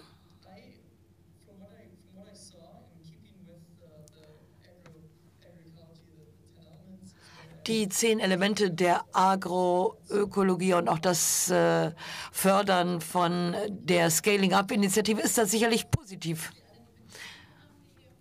Natürlich auch Sarah Schneider. Ähm, Theo Gottwald, ich würde Sie natürlich auch gerne fragen mit dieser ganz langen ja, Erfahrung, auch schon mit den Kämpfen und auch, Sie haben ja auch einen sehr klaren Blick auf die Leute, die im Moment viel Geld verdienen im Agrobusiness und mit Agrarökologie eben sehr viel weniger Geld verdienen können, die ihre Marktanteile behalten wollen. So, ähm, wie blicken Sie auf das Positionspapier und auf die Durchsetzungschancen? Das Positionspapier äh, haben wir ja mittelbar über den World Future Council auch mit unterschrieben, weil es vollumfänglich äh, all das zum Ausdruck bringt, was äh, für die systemare Alternative der Agrarökologie wesentlich ist. Also auch erstmal erster Schritt Zustimmung. Äh, ich wundere mich, warum wir da nicht gefragt wurden, das zu unterschreiben, aber das ist jetzt Institutionenegoismus. Äh, also als Schweißfurt Stiftung. Ja. Aber wir können Doch, noch, oder? Sie sind, Ihr oder? erweitert euer Also 57 Netz. haben ja, unterschrieben. Genau. Ja? Ähm, äh, aber darum geht es ja gar nicht. Äh, die, äh, also das, was mir auffällt an der Debatte, ist, äh, es wird zu wenig über den Machtaspekt geguckt, äh, drauf geschaut, äh, weil die Durchsetzungsbedingungen dieser Praxen, die wir jetzt auch äh, äh angeschaut haben, äh, nicht selbstverständlich sind und im großen Teil auch gar nicht gegeben sind.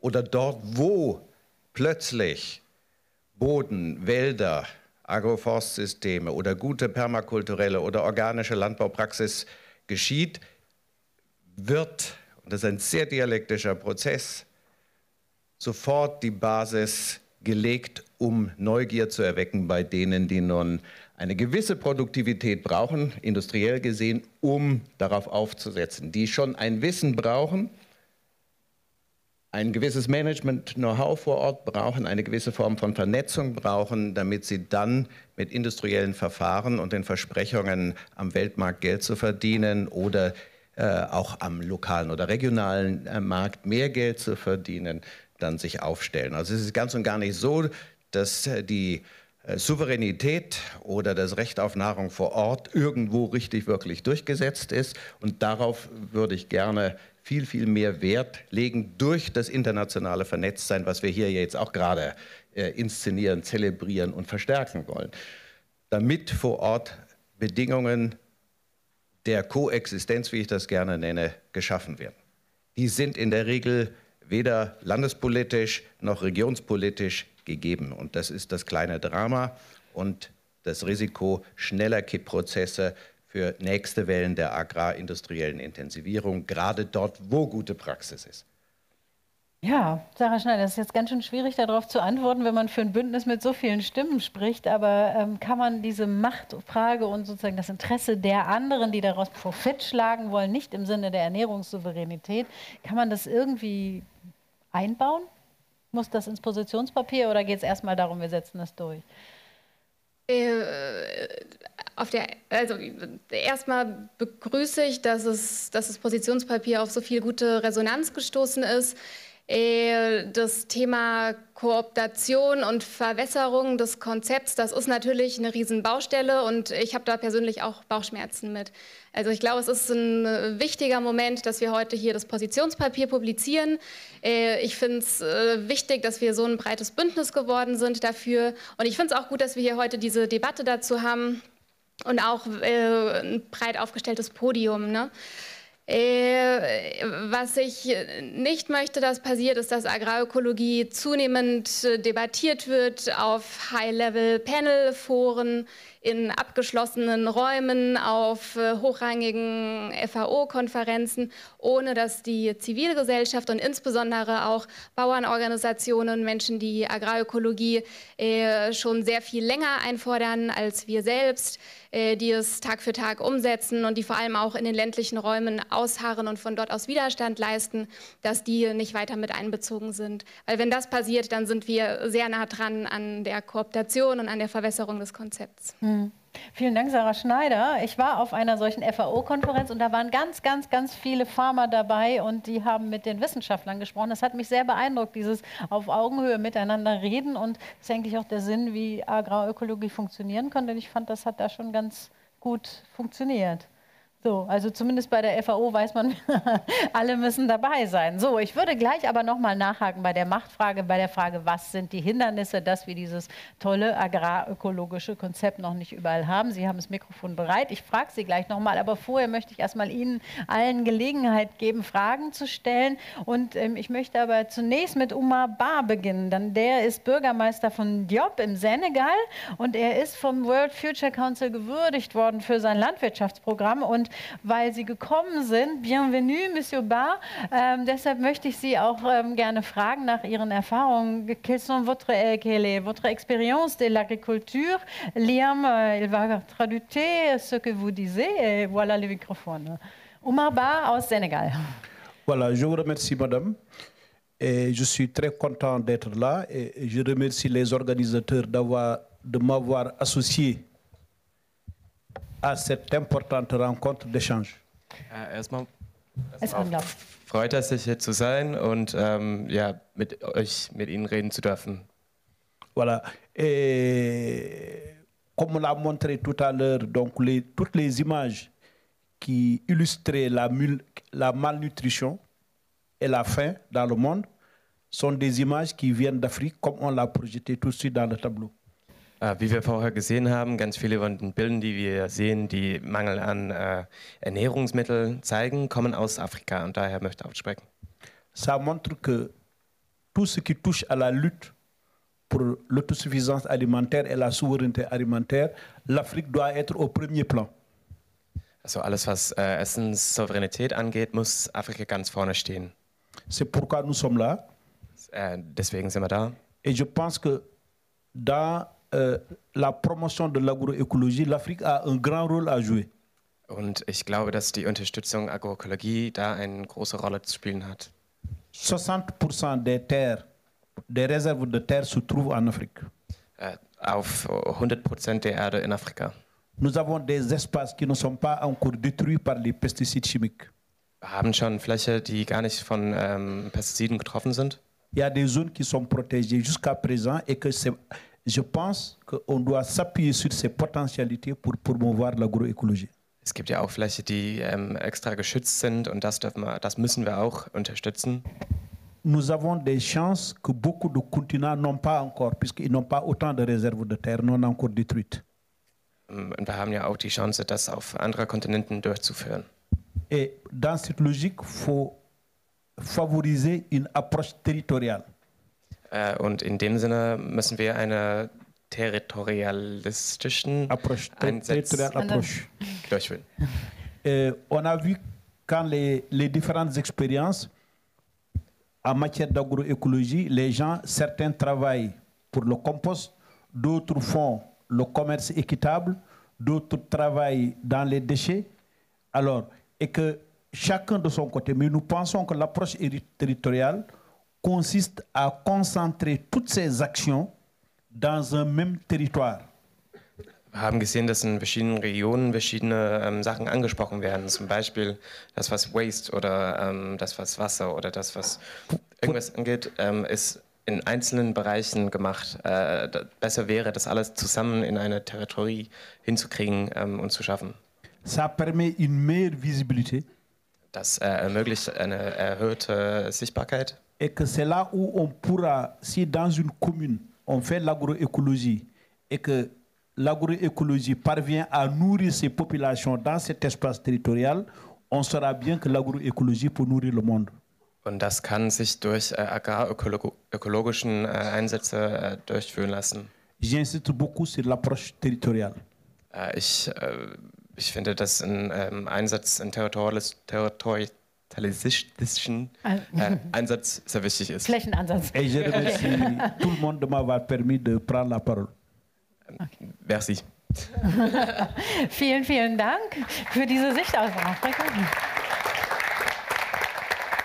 Wir sammeln jetzt mal Ihre Fragen. Wir können nicht lange überziehen und wir müssen ja noch über die neue Politik hier sprechen. Ähm, wenn wir mit dem Mikro einmal von dort äh, diese Runde machen. Danke. Bitte, genau, danke. Ich denke, also ich finde sehr viele gute Ansätze, also in dem Positionspapier, insbesondere auch zum Thema Urban Gardening, wo jeder äh, Mensch etwas in der Kommune konkret machen kann, um dort also Grün äh, zu schaffen, um dort etwas zur Versorgung zu schaffen. Was mir ein Stückchen in dem Papier fehlt, wie weit also konkret auch äh, bio-vegane Ansätze gefördert werden. Das heißt eine Landwirtschaft, tierleidfreie Landwirtschaft, eine Landwirtschaft, die auf Gülledüngung verzichtet. Denn das ist auch eine Perspektive, denn dieser große Fleischkonsum ist auch ein großer Erzeuger von Methan und trägt dann mit zum Klimawandel bei. Und zum dritten, zweiten haben Sie dann da drin das Thema Brasilien.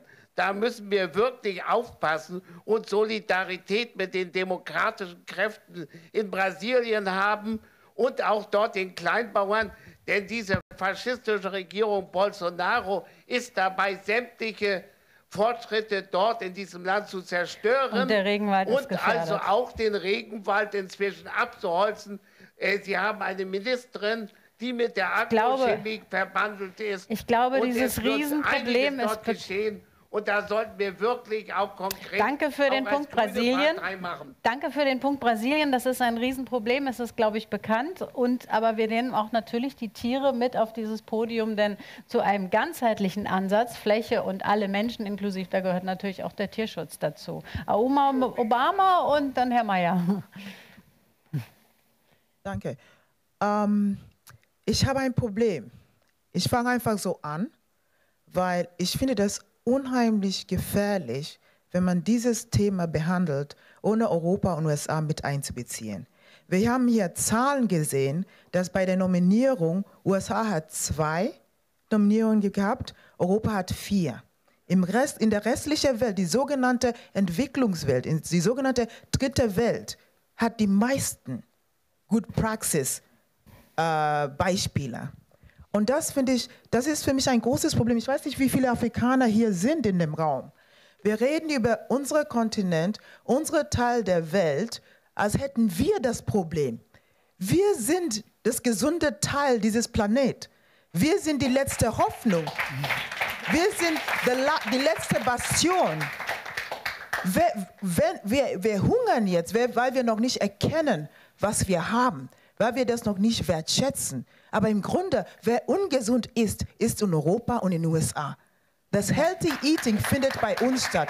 Und für mich ist wirklich, ich sage das ganz ehrlich, ich bin Mitglied des Councils. Alexander, du wirst mir verzeihen. Ich finde es ein, eine gewisse Arroganz, wenn man von unserem Kontinent so redet. Und ich mache vielleicht für allen hier alles kaputt. Aber ich finde auch, die, es sitzt kein Afrikaner an dem, Planum, äh, dem Plenum. Es sind keine As Asiaten, das sind Experten aus dem Ausland. Ich würde sagen, wir mussten Hilfe beitragen, damit Europa gesund wird. Der Boden ist kaputt hier, das Wasser ist kaputt, die Luft ist kaputt. Und wir schauen auf unsere Länder und geben den Eindruck, als wir mussten geholfen werden. Wir mussten zusammenarbeiten. Aber bitte, man muss diese Art, diese, diese, diese Art der Adresse, die Art, wie man damit umgeht, ändern. Ich, ich muss das einfach sagen, weil ich richtig. mache diese danke, Arbeit danke. auch. Und ich möchte wissen, wie viele Leute aus Afrika kommen hier, weil das geht nicht so. Es gibt ein falsches Bild für unsere Kinder, für unsere Regierungen, für alle. Wir haben das gesunde Land. Kommt zu uns und lernt von uns. Komm nicht und sag uns, wie es geht. Kommt zu uns und lernt von uns und nimm was von uns mit und arbeiten wir in Partnerschaft, weil am Ende wird Afrika diese Welt ernähren. Und deswegen passt man auf dieses Kontinent auf. Und das finde ich wirklich, da muss man drüber reden so. Ich finde das wirklich enttäuschend, ich muss das sagen. Nein, es ist gut auf jeden Fall, dass Sie sagen. Ich glaube, wenn wir so über Afrika sprechen, tun wir das auch in dem Bewusstsein, dass die europäischen Regierungen sehr lange ein falsches Modell dorthin exportiert haben, angepriesen haben und dass wir die Agro, äh, darüber reden wir gleich noch auch bei der Arbeit, aber Franz Theo Gottwald und Sarah Schneider vielleicht auch, oder? Wer mag also ganz antworten? kurz nur als Sachimpuls. Für diesen Preis 2019 wurde bewusst einen Auftrag formuliert, auf die agrarökologischen Praxen des globalen Süden zu schauen, weil gerade die auch in Gefahr sind. Ja, das war der Auftrag. Ich habe auch als Jurymitglied als erstes in dem Call gesagt, hey, was ist das denn? Äh, weil wir auch in Europa, und da bin ich jetzt in einer ergänzenden Position, äh, auch in Europa natürlich eine Vielzahl von Projekten haben, agrarökologischer Praxis, gemeinschaftsgestützte Landwirtschaft nur ein Beispiel und die nehmen zu. Die ganzen Arbeiten der Ernährungsräte, äh, die nehmen in Europa zu und in den USA das Gleiche. Ja, das heißt, es ist ein globales Phänomen, das an einer systemaren Alternative zur verstärkten Industrialisierung gearbeitet wird und teils auch im Austausch gearbeitet wird in einem Modell der Partnerschaft, was äh, wir sicher, äh, und da kann ich auch für die Kollegen in der Jury sprechen, die alle aus internationalen Institutionen, ja, wir können nicht selbstverständlich die, die für mich jetzt wichtige Information in unserem Diskurs war vor allen Dingen deine Aussage, Afrika wird uns global ernähren. Wenn das so ist, ist ja vollkommen verständlich, dass sämtliche Ministerien für internationale Zusammenarbeit in dem patriarchalen, kolonialen Muster weiterarbeiten, nämlich Top-Down-Ansätze zu fördern oder, und da bin ich eben auch hellhörig geworden und auch das ist ergänzend zu dem Gesagten, äh, gutes Wissen zu identifizieren, das wird auch von nordamerikanischen Firmen im Regenwald gemacht für medizinische Zwecke. Also äh, das ist, sind Einfallstore, die genau die Eigenständigkeit, die Zukunftsgerichtetheit afrikanischer, autochthoner, sage ich jetzt mal, Praxen gefährden werden. Ja, also für mich ist es hochproblematisch, überhaupt auf dieser Ebene mit öffentlichen oder Public-Private Partnerschaften in dem Thema zu arbeiten. Ich wünsche mir nichts von Oldschool-Modellen. Davon haben wir einige ausgezeichnet, weil sie einfach exzellent sind. Äh, sie sind eben dann doch top-down gewachsen. Ja, ich unterstütze nachdrücklich und würde auch mehr Fokus darauf legen, Bottom-up-Ansätze und Ansätze, die an dem Souveränitätsthema als rechtlichem Thema arbeiten oder sich der Frage widmen, wie institutionalisiere ich Machtverhältnisse so, dass die Regeln, die Spielregeln dort gesetzt und verfolgt und durchgesetzt werden können von den Menschen, um die es geht, die nämlich Spieler sind. Ja, und da passiert, äh, da sind Probleme drin. Das ist nicht einfach hier auf einem Podium, ob nun international besetzt oder nicht, zu lösen. Wow. So, wir haben ganz viele Fragen. Einmal dort, einmal dort. Und Sie haben sich gemeldet. Und dann müssen wir mal gucken, weil wir müssen tatsächlich fragen, was das BMZ dazu sagt, weil im BMZ natürlich ganz viel Lob für kleine Initiativen ist, aber auch ein großer Support, eine Unterstützung für Agrarindustrie, die an Initiativen arbeitet, in einem ganz anderen Sinne. Ne? Aber wir hören erstmal, wir sammeln erstmal Fragen. Bitte. Ja, mein Name ist Michael Bender, ich leite die Bundeskontaktstelle Wasser der Grünen Liga und ich freue mich sehr, dass die Entwicklungsorganisationen, die das Positionspapier hier aufgestellt haben, äh, so viel Arbeit und so viel Koordination reingesteckt haben. Und äh, für mich ist es natürlich auch wichtig, dass auch dieser äh, Wasser- und damit auch der Klimaaspekt da eine ganz, ganz entscheidende Rolle spielt. Aber was ein bisschen fehlt, und das haben wir auch versäumt, ein bisschen reinzubringen, ist so die Frage, wodurch diese agroökologischen Ansätze noch gefährdet sind, außer jetzt von Monsanto, Bayer und wie sie alle heißen. Ähm, ich denke, dass solche Dinge wie Bergbauentwicklungen oder Abholzung, da wird es ein bisschen Brasilien-Beispiel genannt, aber Aufkauf von Land und dann wird alles abgeholzt und äh, vernichtet, wo aber eigentlich diese Projekte da sind und, ähm, sage ich mal, für hunderte Jahre existieren könnten. Äh, würde ich das Podium mal fragen, wo Sie da so die äh, außeragrarischen äh, Faktoren sehen würden, die jetzt die, diese positiven Projekte gefährden.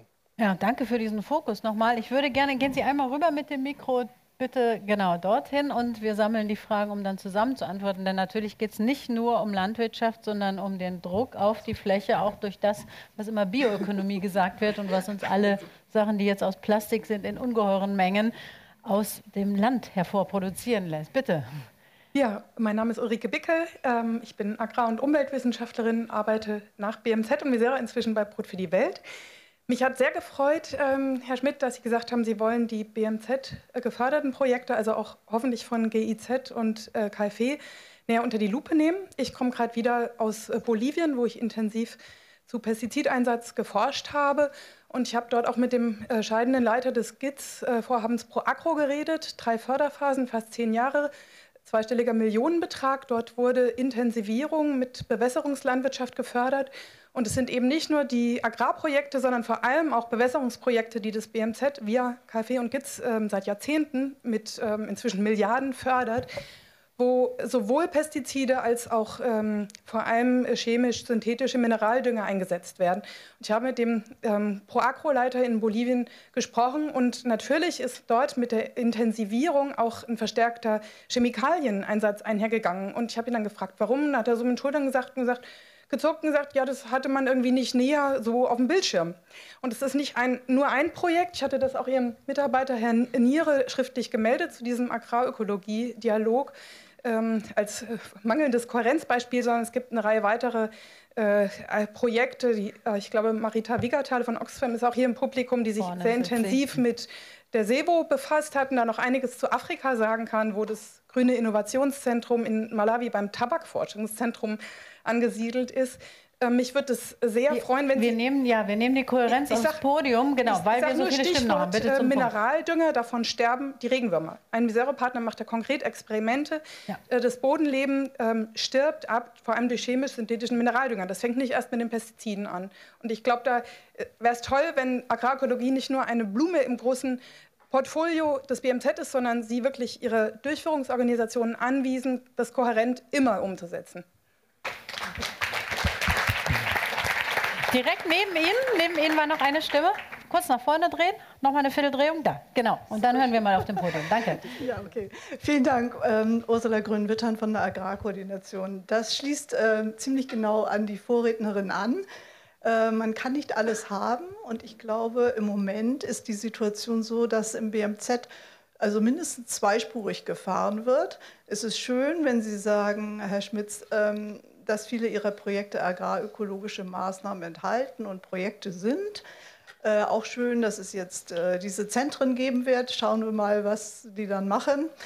Ähm, aber die große Spur ist, glaube ich, eine andere. Und wenn man sich dann nicht verabschieden kann von Unterstützung wie Agra, der Zusammenarbeit mit der Bill und Melinda Gates Foundation, wo wirklich Millionen und äh, große Millionenbeträge reingehen, ähm, dann ist das nicht glaubwürdig. Dann macht man was und macht aber beides und verabschiedet sich nicht von einer Sache. Und da würde ich Sie gerne fragen, wenn Sie das einschätzen können, wie ist denn die Gewichtung, so in Prozenten an Geld, sage ich jetzt mal, vielleicht ist es am einfachsten, ähm, ich sage mal der Öko-Teil und der andere Teil. Können Sie das so einfach nur so ein bisschen peilen für uns? Was, wie, wie, wie teilt sich das denn so auf? Ja, danke schön. Herr Schmitz. Ja, ähm, also äh, erstens das. Äh, Now. Ähm, macht mich hellhörig, ist eins offensichtlich eins der Projekte, was auch schon, Sie sagten ja, über Jahre, vielleicht Jahrzehnte irgendwo läuft. Muss ich sagen, ja, macht mich äh, natürlich hellhörig. Ähm, aber auch gleichzeitig, sag mal, wundert es mich ja jetzt auch nicht. Es ist ja auch wirklich schon ein, ein, ganz, altes, ein ganz altes Vorhaben. Es kam mal eben kurz die Frage auf, warum ist die Landwirtschaft heute auf der Welt so, wie sie ist und wegen Machtstrukturen und so weiter. Ich glaube, die Landwirtschaft heute ist auf der Welt so, wie sie ist, ähm, weil die Menschheit sie so seit 10.000 Jahren macht. Ja, und da gibt es mal Leute, die mehr mächtiger sind und mal unmächtiger sind. Dann gibt es Ideen, die werden promoted und manche Ideen nicht. Also wir kennen doch schon, also lassen Sie uns Klartext reden. Also natürlich ist immer das Ergebnis von, aber lassen Sie uns wirklich, weil es drückt an vielen der Sturm, weil man spricht es nicht klaus aus, es geht um Kohärenz und es geht auch um den Einfluss von großen Playern, die sagen, grüne Evolution, das heißt viel ähm, Dünger, viel Pestizide und das sind Firmen, die sind in Deutschland und wir wollen alle wissen, warum die so viel Einfluss Gut, haben. Sie, Sie, so, Sie wollen jetzt ja. fragen, wie viel unserer Sevo-Projekte in der Sonderinitiative läuft auf viel Dünger und viel Pestizide und viel Mechanisierung und so weiter. Es war einmal so ein bisschen dieser so dieser, Anteil, aber Klartext. auch die Politikkohärenz. Genau, beides. Ja. So, sage ich, ähm, 100 Prozent unserer Projekte gehört äh, zu diesem Grundsatz. Und jetzt äh, zu dem Grundsatz noch, okay. zu welchem? Zum äh, agrarökologisch. Zu, zu agrarökologisch. Also, Innerhalb Ihrer Sonderprojekte wir haben, wir eine haben, Welt. Wir haben kein Projekt, was nicht als Zielgruppe Kleinbauern hat. Wir haben kein Projekt. Wir sind jetzt einmal bei welches, der Initiative. Welches Projekt? Welches Projekt? Mato Grosso ist überhaupt nicht. Wo sind wir im Mato Grosso? KfW unterstützt von der. Okay, Moment. Also wir lassen jetzt Herrn Schmitz ausreden und er redet zu. Lassen Sie uns bitte einmal auf dem Podium fehlen. Ich nehme Sie gleich noch dran, aber wir haben drei andere Leute, die Fragen gestellt haben. Herr Schmitz redet jetzt aus, einmal über seine Initiative und dann fragen wir über die Initiative hinaus, wie die Frage ja schon gestellt war, was das BMZ über GEZ, KfW und alle anderen Organisationen nochmal. Aber erstmal ein Satz zu Ende zu Ihren Projekten. Unsere Sonderinitiative, in, der, in die wir seit vier Jahren, das sind neue Projekte, seit vier Jahren 1,5 Milliarden Euro Steuergelder investiert haben. Da gibt es kein einziges Vorhaben, was nicht Kleinbauern als Zielgröße hat. Es gibt kein einziges Vorhaben, was wirklich in diese rein klassische Richtung großer Inputorientierung gibt. Kein einziges. Ich wäre, bitte Nennen Sie mir eins aus dieser Philosophie. Ich will nicht ausschließen, dass es in unserem Portfolio des BMZ, wo Vorhaben über 20, 30, 40 Jahre gestartet wurden, wo sie eine Historie haben, dass es Vorhaben gibt, die aus heutiger Sicht nicht optimal sind. Das glaube ich gerne, die mag es geben, aber das ist nicht unsere Politik. Ich komme jetzt speziell Klartext auf, ich sage mal, das große Feindbild, was ja immer angesprochen wird, Agrar. Agrar ist jetzt mal von Alliance for a Green Revolution in Africa unterstützen wir über die KfW mit 10 Millionen Euro und ist in unseren Augen nach meiner vollen Überzeugung ein strategisch richtiges Investment. Es war eben eine schöne Folie ähm, äh, in Ihrem Schaubild, wo so sozusagen abgeklickt wurde auf so einer Kriterienliste mit zehn Punkten, ne, zehn, ne, so als Symbol in, in, dem, in dem Film. Ja? Es mag ja sein, dass wenn man Agra da unter die Lupe nehmen würde, sieben Kriterien oder zehn Kriterien, dass nicht alle sieben oder alle zehn dann den grünen Haken kriegen. Ja, da werden vielleicht unterm Strich ein oder zwei sein, möglicherweise die einen blauen oder ein, ein rotes Kreuz kriegen. Aber auch da geht es in die richtige Richtung. Ich glaube, da gibt es so etwas von Mythen um Agra. Ich weiß nicht, wo das herkommt. Das ist eine totale Kleinbauernorientierung. Es wird häufig behauptet, Agra geht nur auf Gunststandorte, ähm, profitorientiert. Ich würde gern kurz einmal Frau Schneider wenn, hören, weil sie ja gesagt hat, dass wir die Mythen aufdröseln. Stopp von Unterstützung gut, von Agra und dann kriegen Sie das Mikro wieder. Nur wenn Aber Sie einmal mich hierhin einladen ja. Ja, und ich wirklich angegriffen werde und die Bundesregierung ich, angeht, dann möchte, ich auch, dann möchte ich auch die Möglichkeit haben, zu, mich zu erklären. Herr Schmitz, ich wollte, ja? Sie haben gesagt, es gibt Mythen. Ich wollte einmal hören, was der Mythos ist und wie viele Fakten dran sind. Und dann sollen Sie es natürlich noch mal erklären. So, also, die, das Agrarökologiepapier fordert den Stopp von Agra und vielleicht ist es ein Mythos? Äh, Frau Schneider. Ja, und auch, dass wir eindeutig heutzutage Agrarsysteme haben, nicht so, wie sie sich über 10.000 Jahre lang hin entwickelt haben, sondern natürlich äh, auch durch äh, Milliarden äh, Euro, Dollars Unterstützung in bestimmte Richtungen besonders gefördert worden sind. Und dazu zählt eben auch Agra, gegründet von der Gates Foundation zusammen mit der Rockefeller Stiftung. Und äh, hierbei geht es definitiv nicht um agrarökologische Ansätze, sondern es geht darum, äh, Systeme zu fördern, die massiv auf äh, Agrarchemikalien beruhen, die attraktive Bedingungen auch für Investoren schaffen, die äh, Absatzmärkte schaffen für große Unternehmen wie Yara als Düngemittelproduzent, der jetzt äh, Einzug halten soll in den afrikanischen Kontinent und dort äh, Böden von Düngemitteln abhängig macht, die bislang noch zum Teil agrarökologisch bearbeitet werden und große Chance haben, wenn Agrar und so weiter jetzt nicht über den Kontinent hinwegzieht. So, zur Entmythifizierung des Mythos, aber Herr Schmitz. Ja, wir werden das mit, der Ent, äh, mit dem Wegräumen von Mythen ernst nehmen. Ich denke, da ist viel Dialog erforderlich und ich kann das nur begrüßen, ähm, wenn wir solche Dialoge wirklich offen führen in Zukunft. Ja. Ähm, Agra fördert äh, das äh, Kleinkreditwesen zum Beispiel in, in Bereichen, wo, wo andere Entwicklungsbanken längst rausgegangen sind. Agra investiert in absolute Marginalstandorte, geht in, geht in Länder wie Südsudan.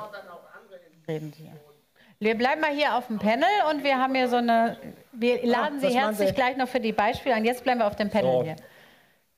Die Gesamtförderung, ich, ich mache es jetzt einfach mal, ich, ich rechne schnell im Kopf. Die Gesamtförderung von NGOs äh, ist, ich schätze mal so 20 bis 30 Mal so hoch wie dieses eine Vorhaben, wo Sie immer drauf rumhacken.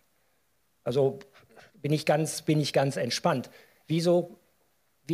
Ich glaube, so. Herr Schmitz, vielleicht ganz kurz, weil hm? die angespannte Stimmung würde ich gerne noch mal weiter haben, denn Sie merken, es beschäftigt viele Leute, weil es ja nicht nur eben tatsächlich ja, um Mythen geht, sondern auch um Zugänge von Marken. Ich war gestern beim GFFA-Forum, die Schweiz hat eingeladen zur Digitalisierung. Da war ein junger Bauer aus Sambia, super studiert in ja. den USA, tolle Idee. Er will den Bauern helfen, verbreitet Wissen über Apps, über Pestizide, äh, nicht Pestizide, über Pests, also äh, Pflanzenkrankheiten, ja. hilft den Bauern und sagt, Natürlich war John Deere bei mir. Die haben schon angefragt. Die wollen mit mir zusammenarbeiten. Was sagen Sie denn einem jungen Mann, der genau den richtigen Ansatz hat? Und dann ist da natürlich ein Riesenunternehmen und hat auch diesen Ansatz, das könnten unsere Kunden werden. Und dann ist es eben nicht mehr Agrarökologie, was die da machen, sondern dann ist es eben eine Landwirtschaft, die abhängig wird, wie ja. große Teile der deutschen Abhäng Landwirtschaft abhängig geworden ist von Investitionen, die in eine Verschuldung führen und dann in hm. eine Abhängigkeit. Ich glaube, das ist so ein Prinzip, was man auf dem Rest der Welt nicht auch noch verbreitet verbreiten will. Und daher die Sorge, wenn ich es nochmal jetzt so diese Unruhe weitergebe, mhm. die Sorge, dass das Game genau der falsche Weg ist und dass wir uns da ein Entwicklungsministerium wünschen, was sagt,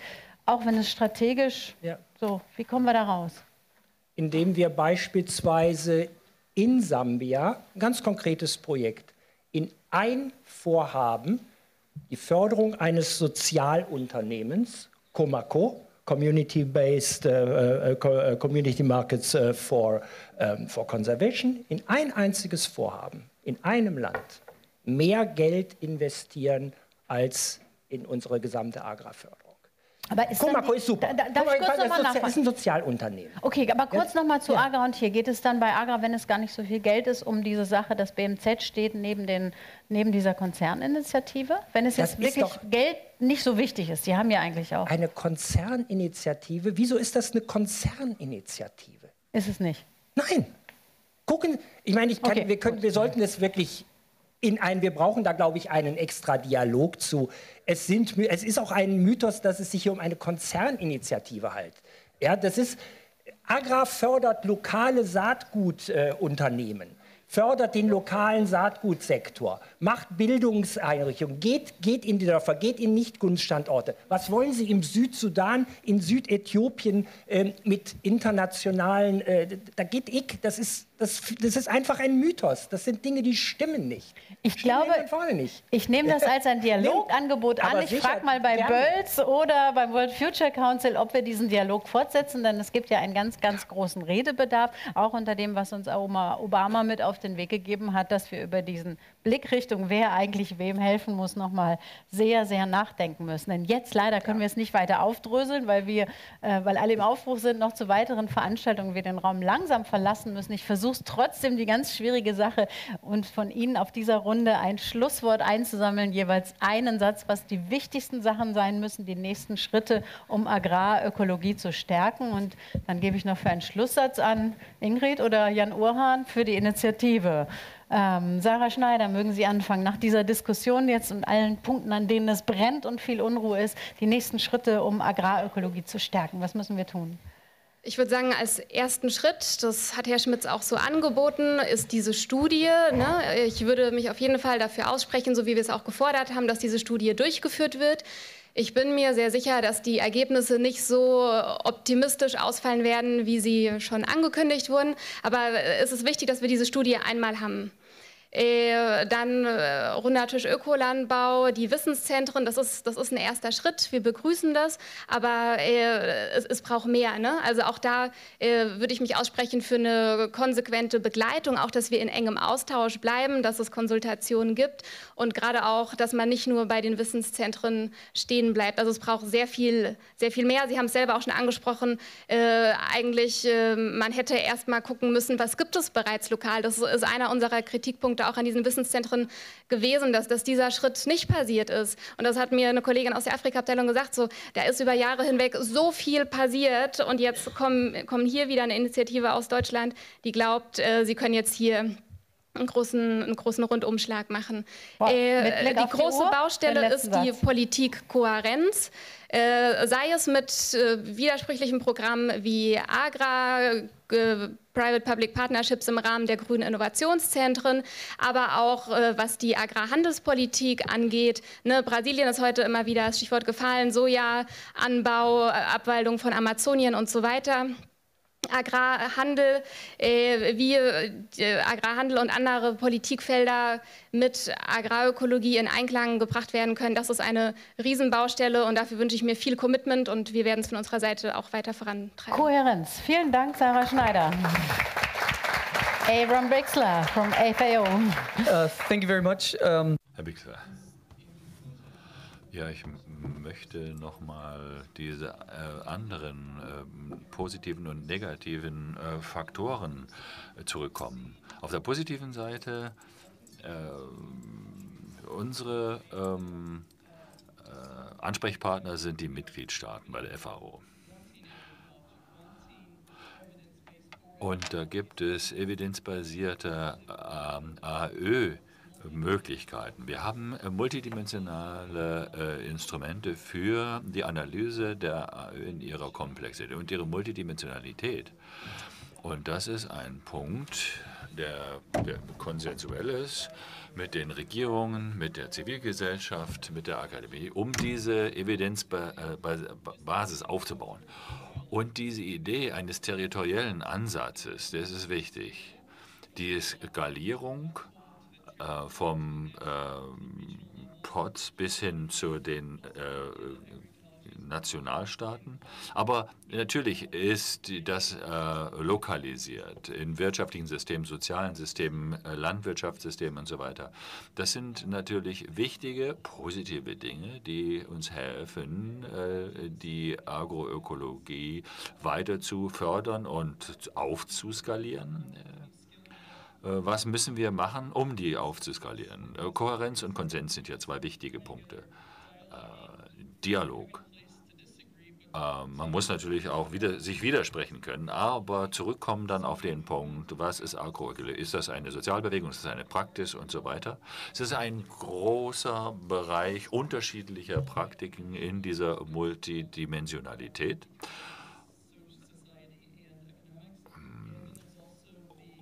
Auch Soziologie, Wirtschaft spielen eine Rolle und natürlich auch das Thema der äh, Finanzierung.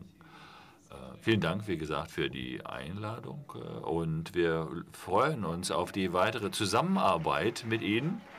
Ähm, ähm, äh, er ist zu uns hier von Rom hierher gekommen. Er sollte eigentlich nach Thailand kommen und äh, aber vielen Dank, dass Sie gekommen sind, diese Mühen auf sich genommen haben, uns hier auf dem Podium zu. Ähm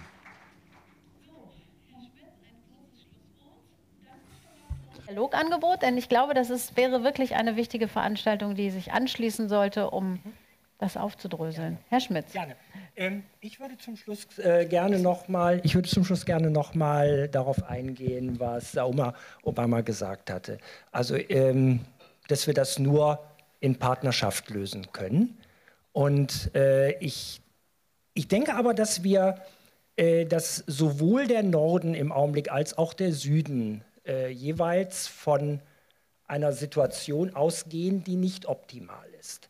Und ich erinnere mich sehr gut an eine der Kernaussagen des heute mehrmals zitierten Weltagrarberichtes 2009 die kleinbäuerliche Landwirtschaft des Südens, des globalen Südens, ist in der gegenwärtigen Form nicht nachhaltig. Da mögen, jetzt, jetzt meine Interpretation, da mögen wirklich Elemente auch sein, ähm, die nachhaltig sind, die positiv sind, Dinge, die man aufgreifen kann, traditionelles Wissen, lokales Wissen, ja, aber im Großen und Ganzen nicht.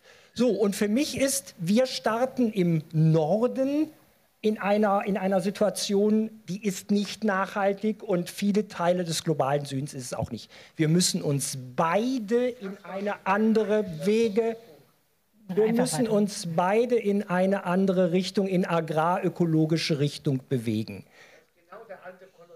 So, wir reden Sie Gut. Ähm, wir müssen uns beide bewegen und äh, das genau das müssen wir in Partnerschaft machen. Das ist der Spirit äh, der, der SDGs. Und da können wir beide auch voneinander lernen. Selbstverständlich. Und das in Partnerschaft. Ja, das ist Franz Danke, Herr Schmitz. Franz Theo Gottwald, Sie haben die schwierige Aufgabe, hier jetzt Knoten aufzudröseln und zusammenzufügen und uns nochmal eine Marschrichtung für Scaling Up vorzugeben. Bitte, Herr Gottwald. Also nur zu den hier vorgestellten Praxen heute. Die sind unter Nachhaltigkeitsgesichtspunkten untersucht und bewertet worden. Und wir sind zehn Jahre weiter was Jastat angeht, war ja. 2009, äh, da hat sich etwas verändert in der Fläche. Und deshalb bin ich auch glücklich, weil ich sehe, auch in kurzen Zeiträumen kann durch die Macht der vielen lokalen Veränderungen global eingezahlt werden auf SDGs, pro Klimagerechtheit etc. Das ist aber nicht das, was ich einbringen wollte. Äh, was mir aufgeht und wo der Dialog vielleicht dann auch inhaltlich rumranken kann, ist eben nicht im Wettstreit der Agrarpraxen, allein zu bleiben, sondern in die Kopplung zu gehen und da Kohärenz zu erzeugen, weil am Ende reden wir über Ernährungsstile und Ernährungskulturen lokaler, regionaler Art, die entweder erhalten bleiben können oder nicht, nämlich in Abhängigkeit von dem, was dort angebaut werden kann, verarbeitet werden kann und auch dort bleiben kann. Ich darf nur als Randbemerkung sagen, Quinoa wird eben nicht mehr in den anderen Regionen selber verzehrt, sondern als Superfood in Biomärkten hier konsumiert, zu Preisen eingekauft, sodass es dort nicht mehr einzahlt auf die gewachsene Ernährungskultur. Insofern äh, äh, lade ich ein, wirklich in die Kopplung zu gehen, so wie es hier auch im Papier steht, mit Agrarökologie die Ernährungswende zu gestalten. Und das ist, glaube ich, ein produktiver Blick, aus der Ernährungswende zu kommen, aus dem, was nötig ist, damit Menschen gut global und lokal satt werden ohne Klimakonsequenzen unter verschiedenen Ansätzen, äh, äh, die vor Ort bestimmt werden durch das, was vor Ort gegeben ist, biologisch, geologisch etc. und die Kleinklimata gegeben ist. Dankeschön. Auch das heißt Agrarökologie. vielen, vielen Dank. Franz Theo Gottwald, Stefan Schmitz, Abram Brixler auf dem Weg zum Flughafen und Sarah Schneider. Ganz, ganz vielen Dank. Ganz vielen Dank auch an, die an den Übersetzer und an die Übersetzerin und an die Technik. Das hat hier alles super geklappt. Vielen Dank. Und zum Schlusswort möchte ich gerne das Jan Urhahn von Inkota geben für das ganze Netzwerk, denn die haben uns hier alle zusammengebracht und wir haben einen, ja, einen Dialog gestartet, der hier noch nicht zu Ende ist. So viel könnte ich mal vom Podium weitergeben. Nee, äh, der Dialog ist bestimmt nicht äh, vorbei. Ähm, und wenn, man, wenn ich Sie alle mitnehmen darf, eine Zeitreise, letztes Jahr, genau zur Grünen Woche, saßen wir schon mal hier. Da haben wir auch über Agrarökologie, über Agrarökologie gesprochen. Da war es noch ganz viel so, was ist denn eigentlich überhaupt Agrarökologie, wie wollen wir es definieren und so weiter und so fort.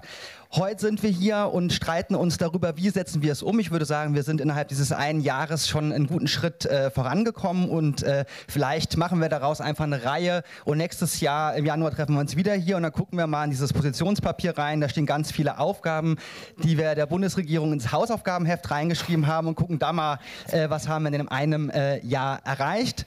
In der Zwischenzeit werden natürlich die Diskussionen weitergehen und ähm, ich finde auch dieses Angebot von Herrn Schmitz nochmal sich ein bisschen stärker mit Agra auseinanderzusetzen, auch ähm, öffentlich damit auseinanderzusetzen. Und was sind da die Mythen, was ist es nicht, was ist die zivilgesellschaftliche Perspektive darauf, was vielleicht auch die Perspektive des BMZ, finde ich durchaus ganz interessant. Und äh, natürlich sind wir auch ganz gespannt auf die Ergebnisse dieser Studie, wo man sich mal anguckt, inwiefern macht das BMZ Agrarökologie oder nicht. Oder auch gerne mal die SEVO unter agrarökologischen Elementen anschauen, wie es denn damit aussieht. Ähm, zu guter Letzt ähm, möchte ich Sie alle einladen, dieses Papier mitzunehmen und alle anderen Papiere, die da draußen liegen, natürlich auch. Ich bedanke mich recht herzlich äh, dafür, dass Sie alle so zahlreich heute Abend hier waren und für die doch wirklich sehr couragierte Diskussion. Und äh, wir wissen, glaube ich, auch alle, die Agrarwende wird nicht hier auf irgendeinem Podium entschieden, sondern die Agrarwende wird auf der Straße entschieden. Deshalb fühlen Sie, euch, äh, fühlen Sie sich, fühlt ihr euch alle äh, morgen herzlich eingeladen zur 9. Wir haben eine Satt-Demo um 12 Uhr am Brandenburger Tor. Wir haben hier noch mehr auf der Liste. Dauert zehn Sekunden. Also die Demo ist das eine. Danach gibt es Soup und Talk wieder hier in der Böll-Stiftung. Da wird inhaltlich noch mal weiter diskutiert nach der Demonstration. Und nächsten Montag in, auf der Grünen Woche wird eine Studie vorgestellt, die Leistung des Ökolandbau. Das geht sehr nah an die Agrarökologie heran. Und zwar vom Thünen-Institut auf der Internationalen Grünen Woche. Es lohnt sich, weil da Fakten, hilfreiche Fakten vorgestellt werden. Und im Kino Hackischer Hof läuft der Film Unser Saatgut. Film und Diskussion Montag Montag, 20 Uhr. Also wer nach der Demo noch kann, kriegt da noch mal mehr Input. Also Sie haben viel zu tun, helfen Sie mit, die Agrarökologie abzuscalen. Vielen Dank. Jetzt aber.